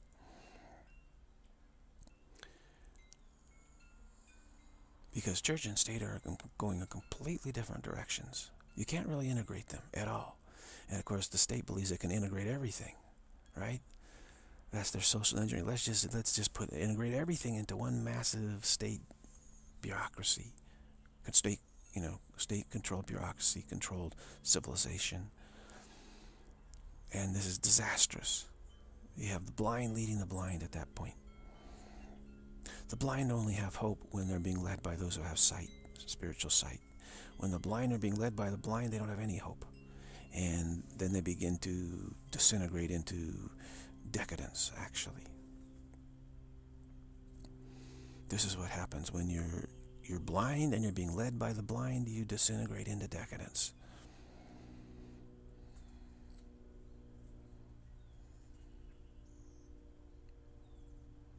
and you start getting into all sorts of master slave relationships and your whole your whole life experience begins to decay into all sorts of uh, very decadent behaviors and, and stuff, and it gets worse and worse and worse.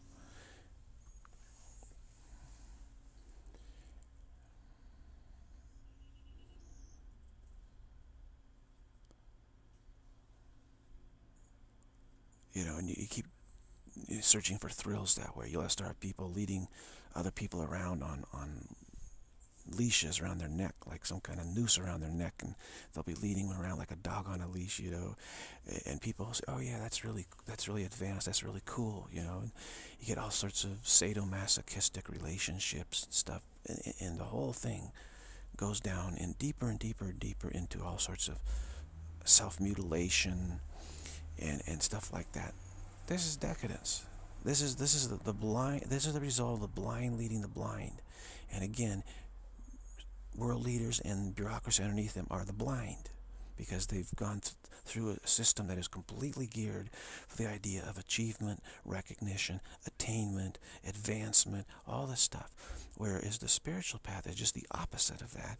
Whereas the realization, the, the key to, the, to spiritual success is the realization I'm already there. In fact, everyone is already there. I need to do nothing. I don't need to know anything. I don't know anything. I'm already there. Already there. Everyone is already there. No one ever left. Nothing's ever happened. This is this is the direction of the spiritual path. So again, church and state, the the the the the, the state is taking over uh, the churches. Of course, the more they do that, the more they have the, the the media put out articles and bang the drums about how how the church is trying to take over the state. You know, it's it's ludicrous. This is their tactic, actually, the tactic of, uh, uh, of bureaucracies. Uh, uh, statism, academic statism, is accuse those that you are uh, taking over of doing, actually being the ones who are doing it to you. This is this is their technique that they use just blatantly over and over and over and over again.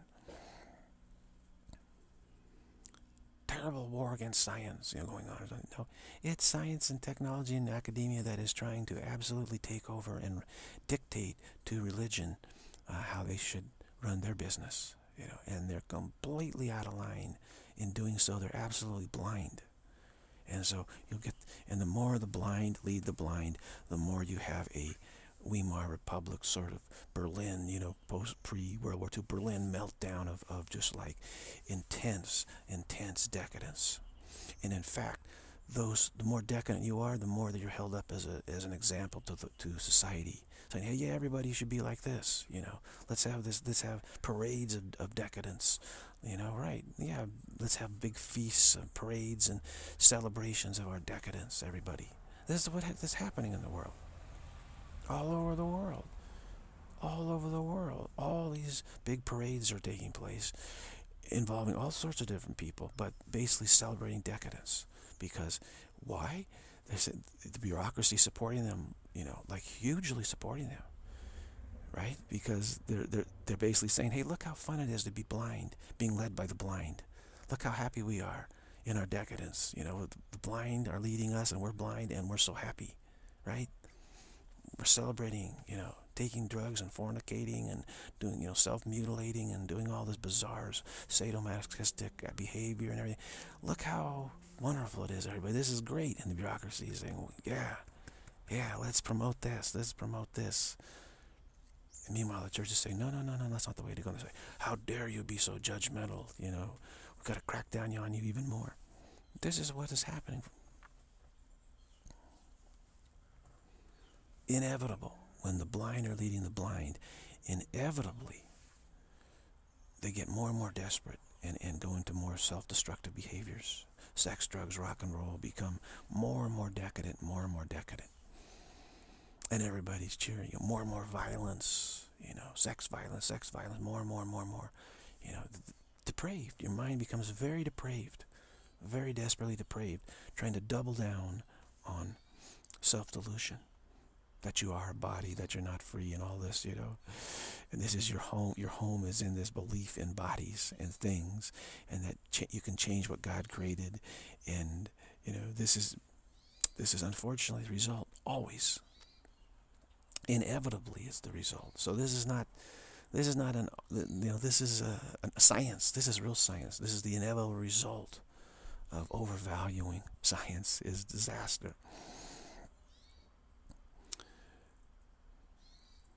Different directions, completely different directions, church and state. Now, there have been, you know, uneasy balance between church and state throughout history in various ways. Unfortunately, at this time in the world history, it's been so many people have now gone through academia, so many in the world, that we now have a voting bloc that votes in mass for these blind leaders and blind bureaucracy who are now instituting changing laws and changing uh, whatever, how society functions. So we have blind leaders of the blind, which then is leading to the social rot that is taking place, this severe social rot. In the past, you didn't have that sort of voting bloc. You know, you had much wiser people in the past who have not been contaminated by academia. Academia is very contaminating. Very, very much so. Well, the, the, the schooling that we get from cradle to grave in this world really extraordinarily, it cultivates spiritual blindness is what it really cultivates because it cultivates this whole false idolatr idolatrous religion of achievement, of attainment, of accomplishment, of alignments, you know, and uh, which is the, is the exactly wrong direction to go in. This only deepens deepens your darkness, and then you become more and more just full of despair, and yet still thinking you've got to find a way to celebrate the darkness, and you become more and more depraved. Yeah, even even a saint, if they went that direction, will become depraved. Absolutely. If that's the direction they decided to go in. Yeah they would be going out into darkness and they would end up, you know, being some idiot, you know, leading somebody around in a chain around their neck, like, like you know, to, or, you know, in handcuffs. You, you'll see people being handcuffed, led around, you know, by their master, slave being their master, you know, and everybody is a, you know, isn't this liberating? Look how li liberal, liberating, progressive we are. They're able to celebrate diversity, you know. They call it celebrating diversity. No, it's, it's celebrating depravity and decadence is what it's celebrating. And it's celebrating the idea of doubling down on self-delusion, celebrating spiritual blindness, thinking that that's the way to go. It's never the way to go. Ultimately leads to wars, actually. leads to turbulence. And again, they just continue to blame, you know, the church for everything. Religion is all to blame for everything. They're the ones. They're attacking us. That's why we're having a difficult time. And that's not...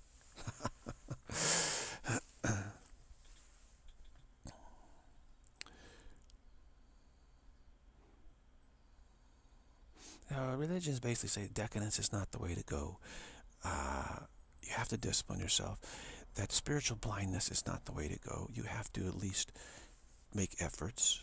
Okay, now, of course, spiritual functionaries down in the lowest, you know, they don't really know the truth about the situation. And even those in high places don't necessarily know the truth. But at least they, they, they, they're, you know, making an effort. Okay, you got to give them that.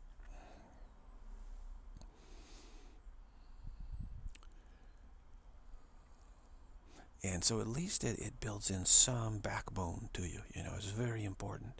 At least the idea that, that not that, that not everyone is blind, that there's at least some teacher somewhere that's not blind. And, you know, we're not sure how to orient ourselves with, with that. And uh, we stumble and have difficulties, to say the least, have historically. But it's way better than the opposite, that have blind leaders of the blind as we right know realize right now what a disaster that is and look at what the Chinese did to Tibet you know they, they couldn't tolerate the notion of, of anybody there having superior knowledge than the central planners right? They're just like exhibit A you know of what happens in a secular humanistic world. They bristle and get furious at the notion that, that, that somebody might have greater wisdom than they'd have you know? You know, they, they, we know how to achieve and attain and, and, and accomplish. And, you know, we know how to get results materialistically. So what are you talking about? We, we, know, we know the truth, how to make everyone happy. And, uh, and so, oh, they see that these there's this culture that, that's designed to to liberate us from self-delusion and and realize we don't need to do anything. We're already liberated, actually. In fact, in fact, we've never been fallen at all, so we don't even need to be liberated ultimately. The realization is nobody needs to be liberated because nobody's in any trouble at all. Nobody needs to be enlightened because no one's not, are not enlightened. No one's fallen into an unenlightened condition, actually. None of us are in an unenlightened condition, actually. We're just pretending we are. But pretending doesn't mean it's, a, it's true. anyway, so they they just hate, you know, the the the, the, the religion religiousness of, of Tibet. And uh, their pride is hurt so bad, you know, when, when, when it's suggested that somebody might know better than they, you know, what needs to be done to solve the problems of the world. And this is a classic example of the state, you know, incorporating religion. And this, this is taking place on the planetary scale now. What China did to Tibet is actually being done to all of us now in this world.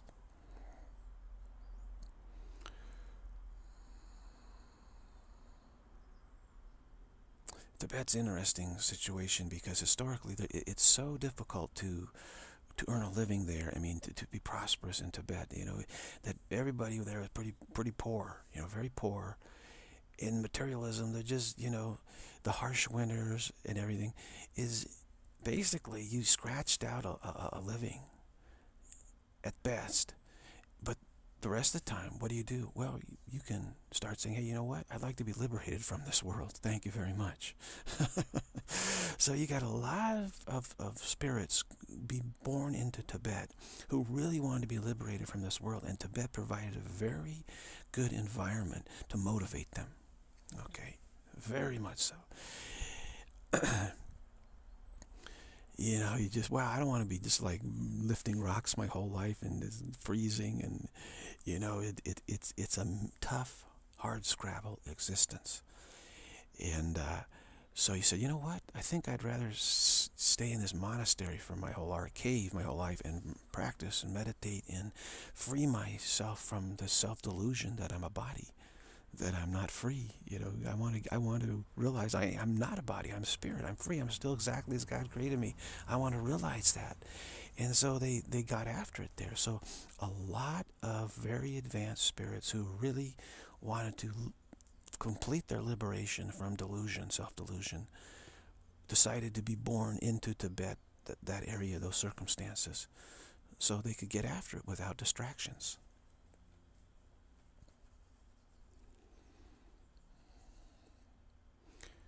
And it worked very well, and, and many did get liberated. So that's that's the story of Tibet, actually.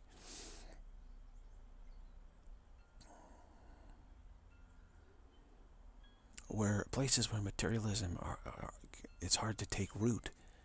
Those places are often very propitious places for spiritual aspirants.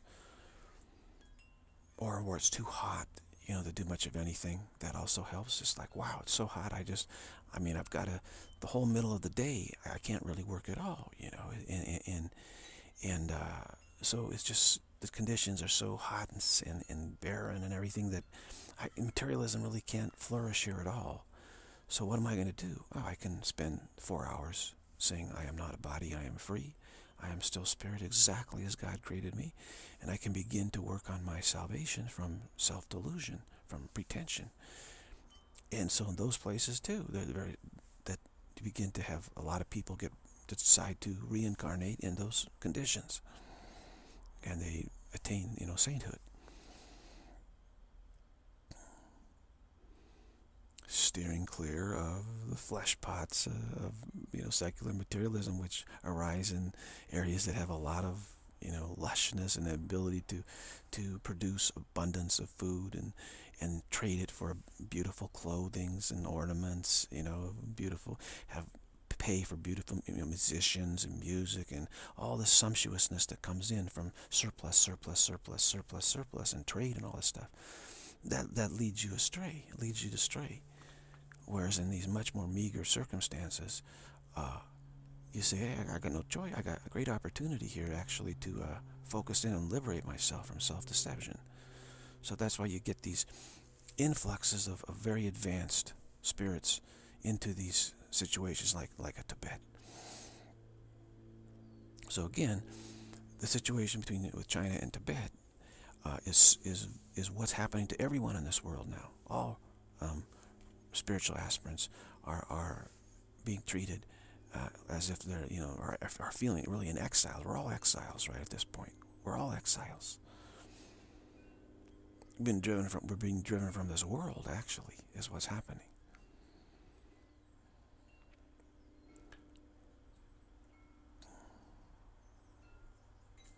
Now, Tibet, Tibetans were fortunate that, India took them in, and, and they could establish, reestablish a, lot of their practices in, in, in, in India. Uh, but where do we go, for instance, like here in the U.S., you know, you're, you're, we're spiritual exiles already. You know, we don't have this massive block like the Tibetan people did, you know. And so a lot of us feel very uh, estranged, you know, very much estranged from the culture here and not really knowing where to go or what to do because we're, we're already spiritual exiles. The, the statism has, you know, annexed the world, actually. I, I, call it cosmic corporate culture, actually has annexed this world, has incorporated this world. And there's no place for our focus here because our focus is that we don't need to do anything. Everybody's already enlightened. Okay? We're, and so we don't need any attainment at all. We just need to accept we're already free. We're already free. I'm already not a body. It's the alreadiness that we need to focus on. But because we're, we're, we're so locked in into to familiarity with achievement and attainment and accomplishment and alignment and all that, uh, that, that it, it's difficult for us to let go of it. And plus we have a continuity fear of success. So it's, it's, a, it's, it's a tough path. We need to practice at it. Need to practice at it. I am not a body. I am free. I am still spirit exactly as God created me. I am not a body. I am free. I am still spirit exactly as God created me. Everyone is already enlightened. Nobody ever fell into any pit. There is no pit. there's nothing wrong. Nothing needs to be fixed at all. There's absolutely nothing that needs to be fixed or ever could be fixed. Everything is already perfect.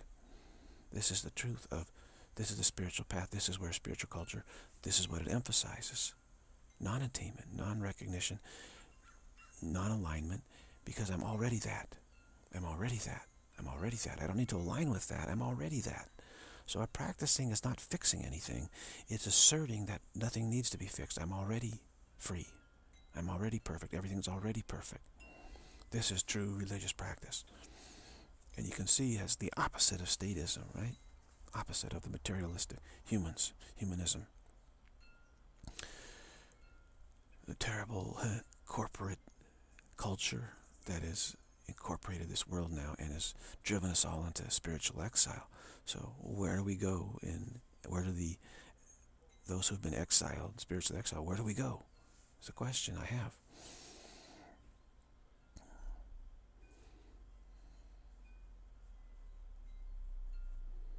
Hopefully we get some answers because uh, it's, it's, it's a difficult situation here. The laws are being changed so fast now. You can just tell that you're, you're being exiled. That your point of view, your entire worldview is being uh, delegitimized. Totally delegitimized and criminalized, actually. Absolutely criminalized.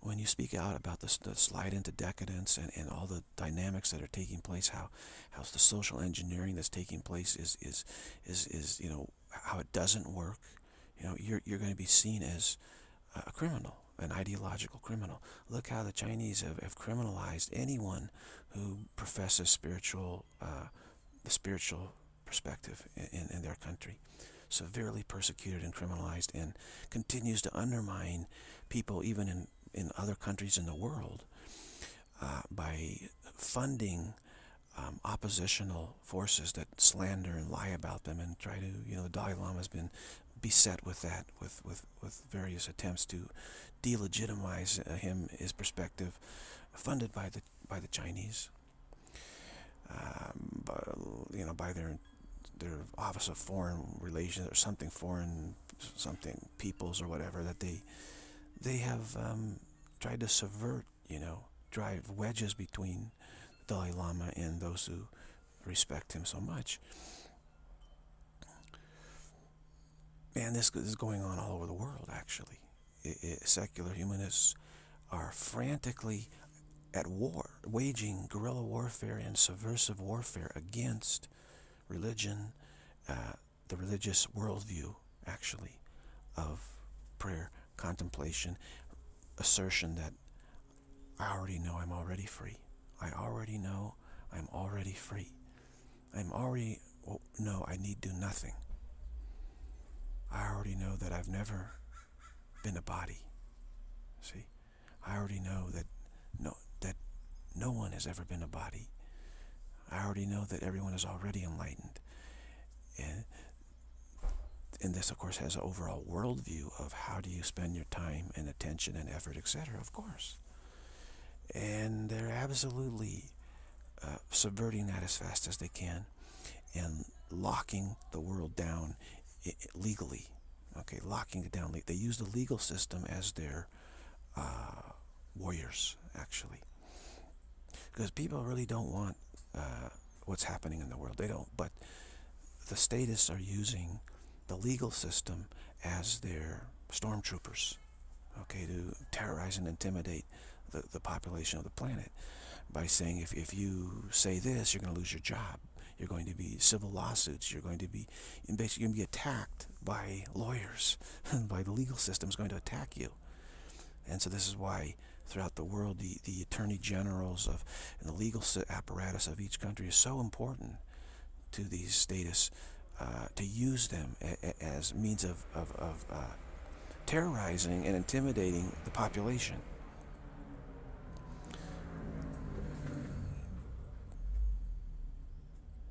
And of course, in a materialistic society, if you lose your job and you get stigmatized, you know, that's that's as good as, you know, throwing you in jail. Worse. I mean, it's a terrible thing. Once you get stigmatized is that you, you ran afoul of this, you know, bureaucratic machine, You know, who's going who's going to dare to hire you or promote you at all? Because everybody's terrified. You know, like I don't want to get audited. I don't want. You know, they use they use auditing. You know, they use the whole power of the bureaucracy to intimidate you. This is what they do. This is what they're doing. And uh, in the past, you know, if someone said that, you say that to a monk. They say, "What do I care? I've got a monastery. I have a whole, uh, whole vast uh, group of uh, brothers and sisters uh, in this, supporting this whole. You know, and I have, I have food, lodging for life." They can't intimidate you that, that way. But now in this world, where we're totally dependent on earning a ton of money just to survive, it's extremely intimidating uh, when somebody starts uh, undermining your uh, your status, you know, and saying that you're not employed, you're not employable because you don't have the right ideological outlook. So it's a very different situation in the world now. In the past, you could take refuge in the church, in, in a religion. You could take a refuge, and the state couldn't touch you. state could not touch you. See, nowadays, the only people who can take refuge in churches are those who support the state and are coming here into this country, various countries, immigrating here, so to speak. you know, if you support the state and they think you'll be supportive of them, then you can take refuge wherever you want. It's no problem. But if not, no, you can't take refuge there. You see, the, the, the, the religion's under tremendous pressure right now. S tremendous pressure.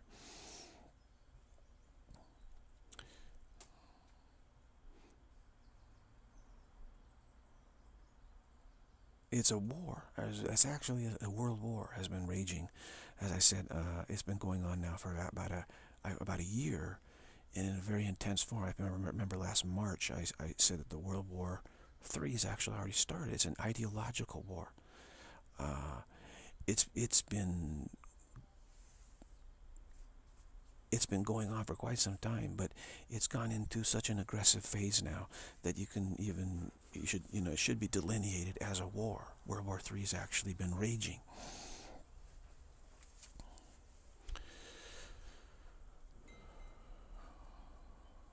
Now, now, religion is certainly uh, doesn't in its formal in its informal religion certainly don't don't have the answers, ultimate answers. They do have some useful disciplines, helpful disciplines, but there are some areas that they are certainly uh, need to correct, and, and it's not likely they will. Uh, for instance, the whole issue about actual presence of you know the body and blood of, of Christ in the Eucharist, for instance, this is Roman Catholicism. Roman Catholicism has some very uh, unique, shall I put it, uh, stances uh, on on salvation that have become more and more emphasized as this is the whole thing, you know, this is it. Where in the past, it wasn't quite that way. It is now. Now it's basically come, receive the Eucharist, and call it good. You know, call it good. uh,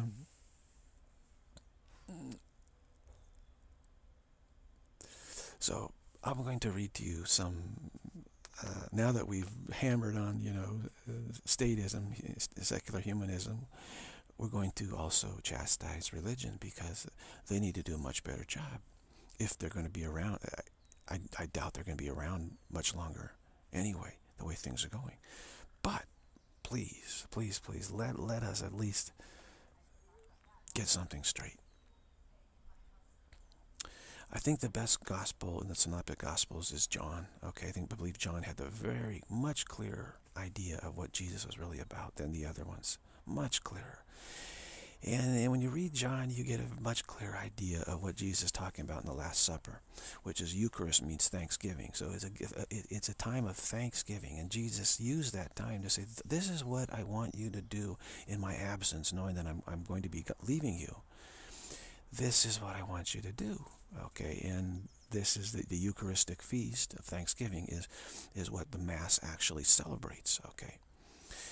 But what does Jesus really tell us in, in that Eucharistic, that supper, the Last Supper? Well, we're going to go over this a little bit. and, and there's several keys to it. And this is in John, John 6, 63. Jesus is speaking and says, The Spirit gives life, the flesh counts for nothing. The words I have spoken to you, they are full of the Spirit and life. Okay, so the life Jesus is talking about, the body, he speaks metaphorically of a body because people are so into bodies. And remember, in this world, we think we're bodies, but we're not. So that we're so into bodies that Jesus needs to bring the body concept into the picture, even people even be interested in what he's talking about. But he says again, John 6, 6, 3, the Spirit gives life, the flesh, meaning the body, the blood, and the muscle, and the gristle and the bone, which the body, all of that counts for nothing. Zero, nada. The words I have spoken to you, the words I have spoken to you, the teaching, the assertions, do this, assert this, they are full of the Spirit and life. Okay. All right. Okay. So already we're saying, hey, wait a minute.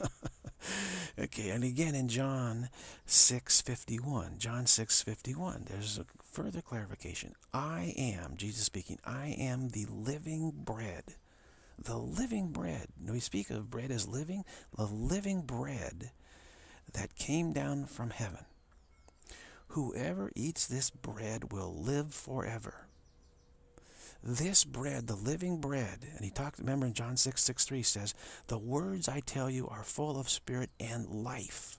Okay, and he says, I'm the living bread, the bread that is full of life, meaning the words I'm speaking to you. Okay, so he says, this, I am the living bread that came down from heaven. Whoever eats this bread will live forever. This bread is my flesh, which I will give for the life of the world. This bread is my flesh, meaning the words. That he says, I am the bread of, bread of life, which came. I am the living bread. And he said before, the words I have spoken to you, they are full of the spirit and life. So the bread he wants us to eat is the words, the teaching that he gave us. So this teaching came down from heaven. Whoever eats of this teaching will live forever. Whoever eats this bread will live forever. This bread is my flesh, which I give for the life of the world. The bread, the teaching, is the flesh he's talking about. Not the body, not his body, the teaching. Okay. And then in, in, in now John doesn't even have the Last Supper in his gospel. This is only in Mark, Matthew, and Luke. So in, in Mark, he says, while they were eating, Mark says, uh, Jesus took bread, and when he had given it, he broke it and gave it to his disciples. In other words, gave it to each one of them. How can, if he didn't break it, how could he give it to each one of them? So breaking it is not symbolic at all. He had to break it in order to give it to each one. It was a, just a practical thing. And when he had given it, when he had given thanks, he broke it and gave it to his disciples, saying, Take it, this is my body. Take it, this is my body. But what did he say about bread before? He said, I am the living bread that came down from heaven. Whoever eats this bread will live forever. And what did he say about what is full of life and spirit? The words I have spoken to you, they are full of the spirit and life. The spirit gives life. The flesh counts for nothing. The flesh counts for nothing. Now, it is, a, it is an incontrovertible fact that throughout ancient pagan history, one of, one of the basic pagan customs they had was sacrificing, uh, having communal sacrifice of some living creature, and everybody eating the flesh and drinking the blood of that creature, and this was supposed to, to create a common bond among all the people. Helps tribalism, create a common bond of tribalism among Uh, excuse me, among among the people. So you, they call this a love feast, a feast of, of, of, of, spiritual communion to bring the spirit of the tribe closer together, so to speak.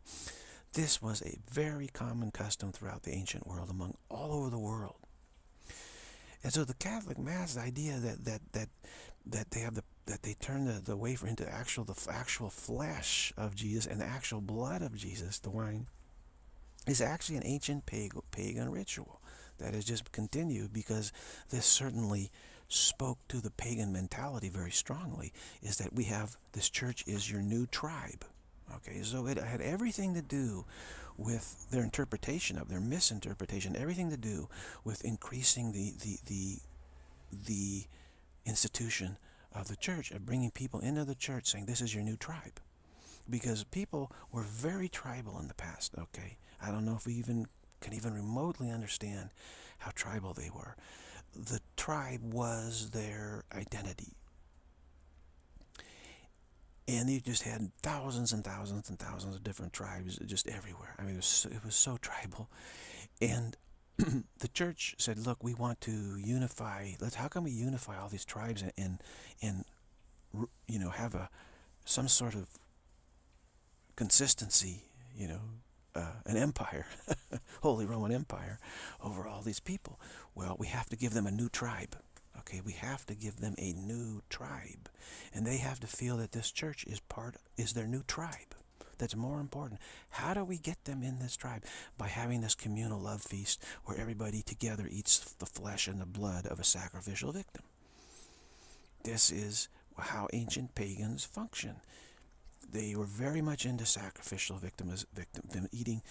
We need, in order for us to to keep enforcing our tribal belief that that that we're it, that we're bodies and we're special. We're special because the belief in bodies brings in the belief in specialness, that we're more special than other bodies. So in order to keep the cohesiveness of the tribe together, they needed to have these communion feasts where they would all eat the flesh and the blood, drink the blood together of a sacrificial victim in order to maintain this cohesiveness. So the church just took this and said, hey, okay, this is your new tribe, and in order to maintain cohesiveness within this new tribe so they don't splinter all over the place, we're going to all together have these communion feasts of the, the blood and the flesh of the sacrificial victim, which we call Jesus. As Jesus is your is our this tribe's sacrificial victim who sacrificed his, his body so that we could eat it and maintain this cohesion, okay, within this new tribe, which is your church.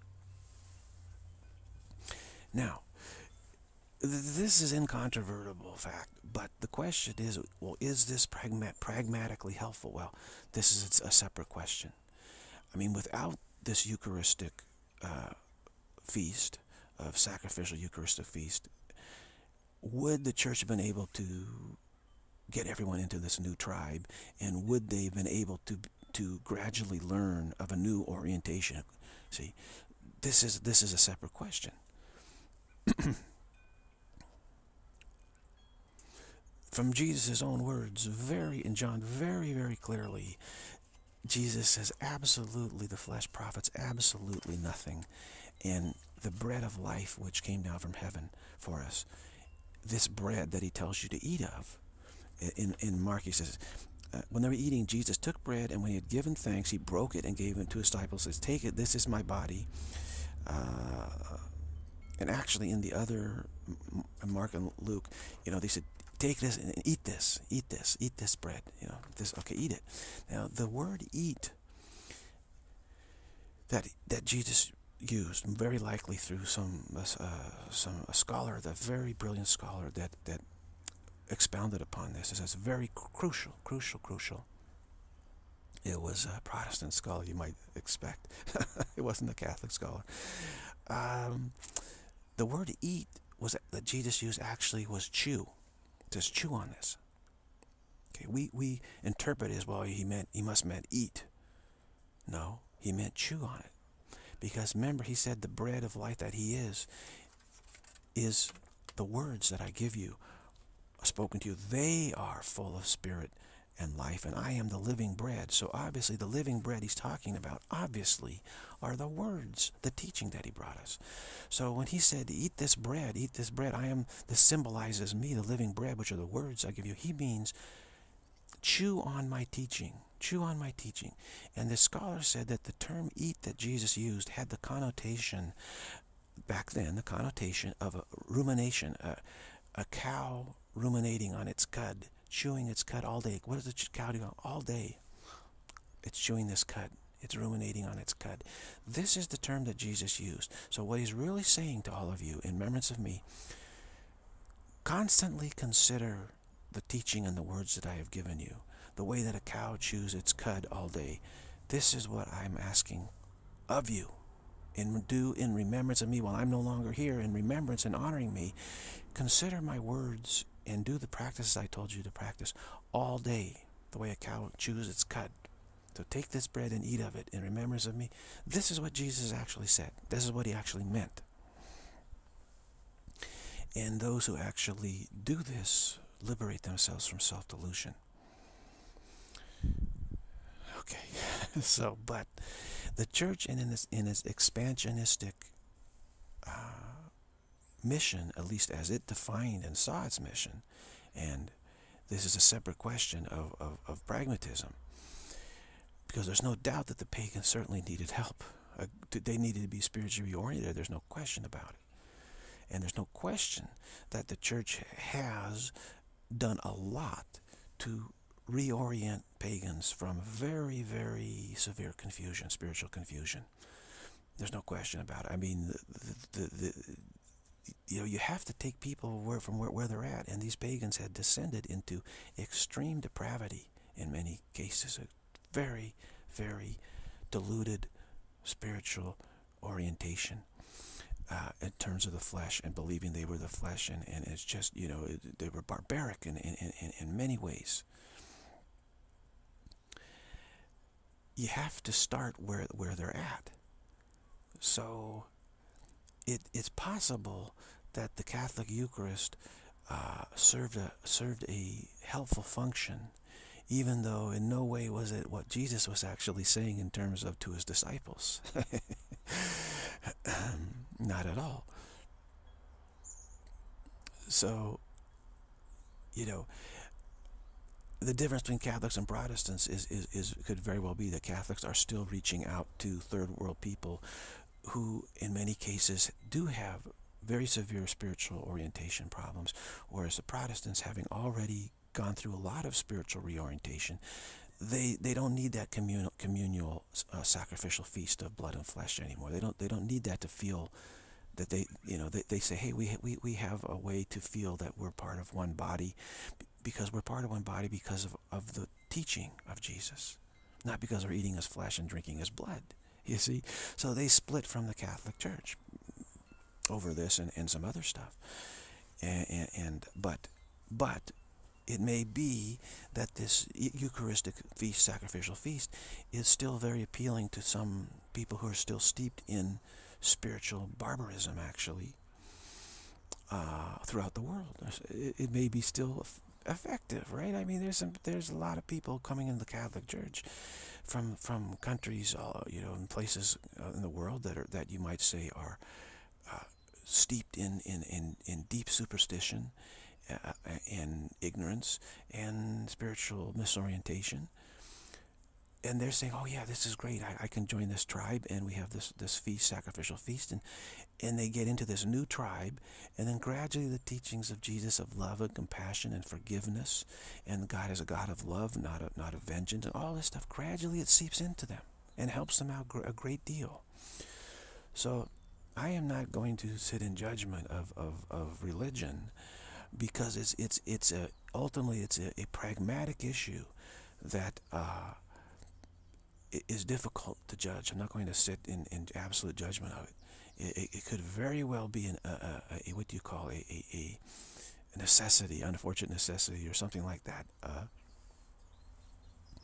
it may be an effective tool, even though eventually we realize that this is nonsense. That that that that, that uh, we're not eating the the the flesh of Jesus and drinking his blood because what, what we should be doing is constantly thinking about the words, uh, considering the words, uh, not you know taking it to heart, constantly going over what did Jesus really mean? What does he really have to say to us? And he says, I am not a body, I am free.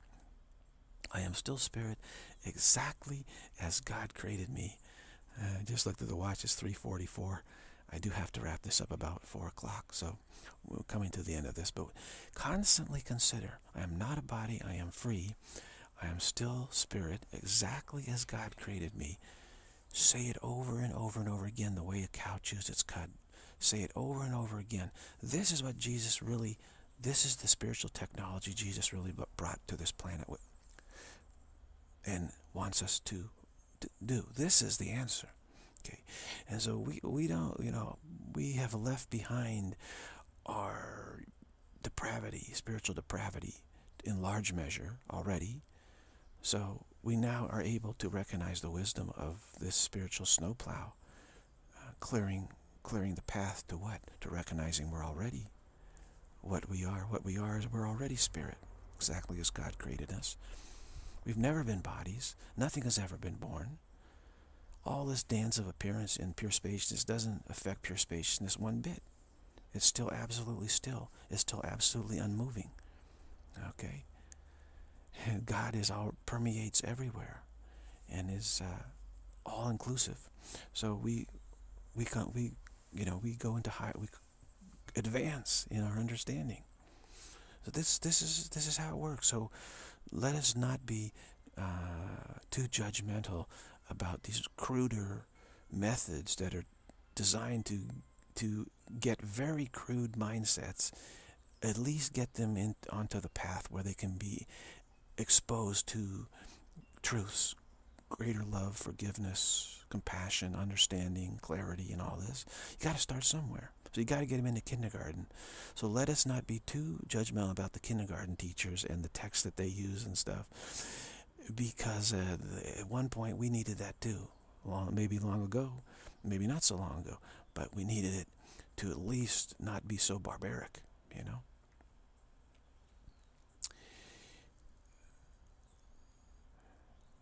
So I that's why I do go to Catholic Church. Now I understand that this is all very barbaric and their teachings are you know, especially the Old Testament teachings are extraordinarily barbaric and ridiculous in many cases that God says if you if you do this I will forgive you if you don't I'm going to wipe out every single one of you viciously dismember all of you you know but but if you you know uh, say a little prayer to me or you change your ways you know are not so hard-headed then I'm going to spare you this time you know and it's just all this angry Jehovah going going to wants to kill everybody, but if you if you be really really careful, then maybe he'll be spared. You know. the whole thing is is, is, is the whole doxology of, of, of, of Catholicism, the whole catechism of Catholicism is, is very mixed with truth and crude crude paganism. It's a mixture of paganism and Christianity, actually, it's a, uh, of, of right Christian doctrine. You know, it's a, it's a mixture. And sometimes you, you, you'll hear something that is very true and right on. And you'll say, wow, this is good teaching. The very next sentence will be something incredibly pagan and crude. You just go, oh my God, you know, it's, it's like that. It's, the, it's very, it's, it's kind of weird, but a lot of people, you know, it works for them because it gives them, it doesn't chastise them too badly for their severely delusional beliefs. Gives them an opportunity to start working on it. You got to start somewhere. So, out of recognition of the of, of the pragmatic problem of this world, I, I attend Catholic Mass. I don't take the Eucharist eh, because I know there's no blood and flesh in there at all. It's just a wafer. But I, I don't criticize those who want to believe that. You know, I don't criticize them. it's, it's a little weird though because it's like, wow, you know, these teachings are just a, a mixture of, of what Christ told us and what pagans believe.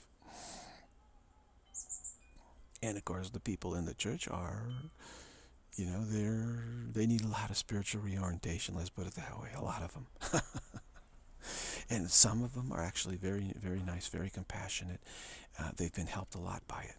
You can tell they've been helped a lot by it. So that's that's that's fine. That's fine.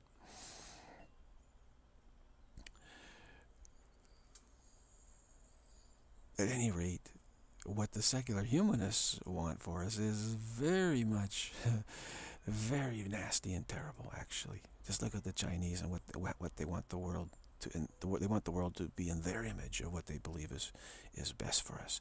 They want us just to be robots, basically, materialistic robots. Communism, socialism, all that hive mindism is very, very, very delusional, rooted in severe self-deception and blindness. Uh, the, the, the, the, the doctrine of attainment is what they preach. And religion is the doctrine of no attainment because we're already, we never fell at all. We never fell from our perfect status that God created us as God created us as spirit and truth. As it clearly says in the Bible, God did not create bodies, God created in his own image. And what is that? Spirit and truth. Idea, spirit, and truth. So we never fell from that. We cannot. We can never deviate one iota from what we already are. So true religion speaks, guides us towards the recognition of alreadiness. No need for attainment. No need for accomplishment. No need for acquirement. Okay? No need for alignment, really.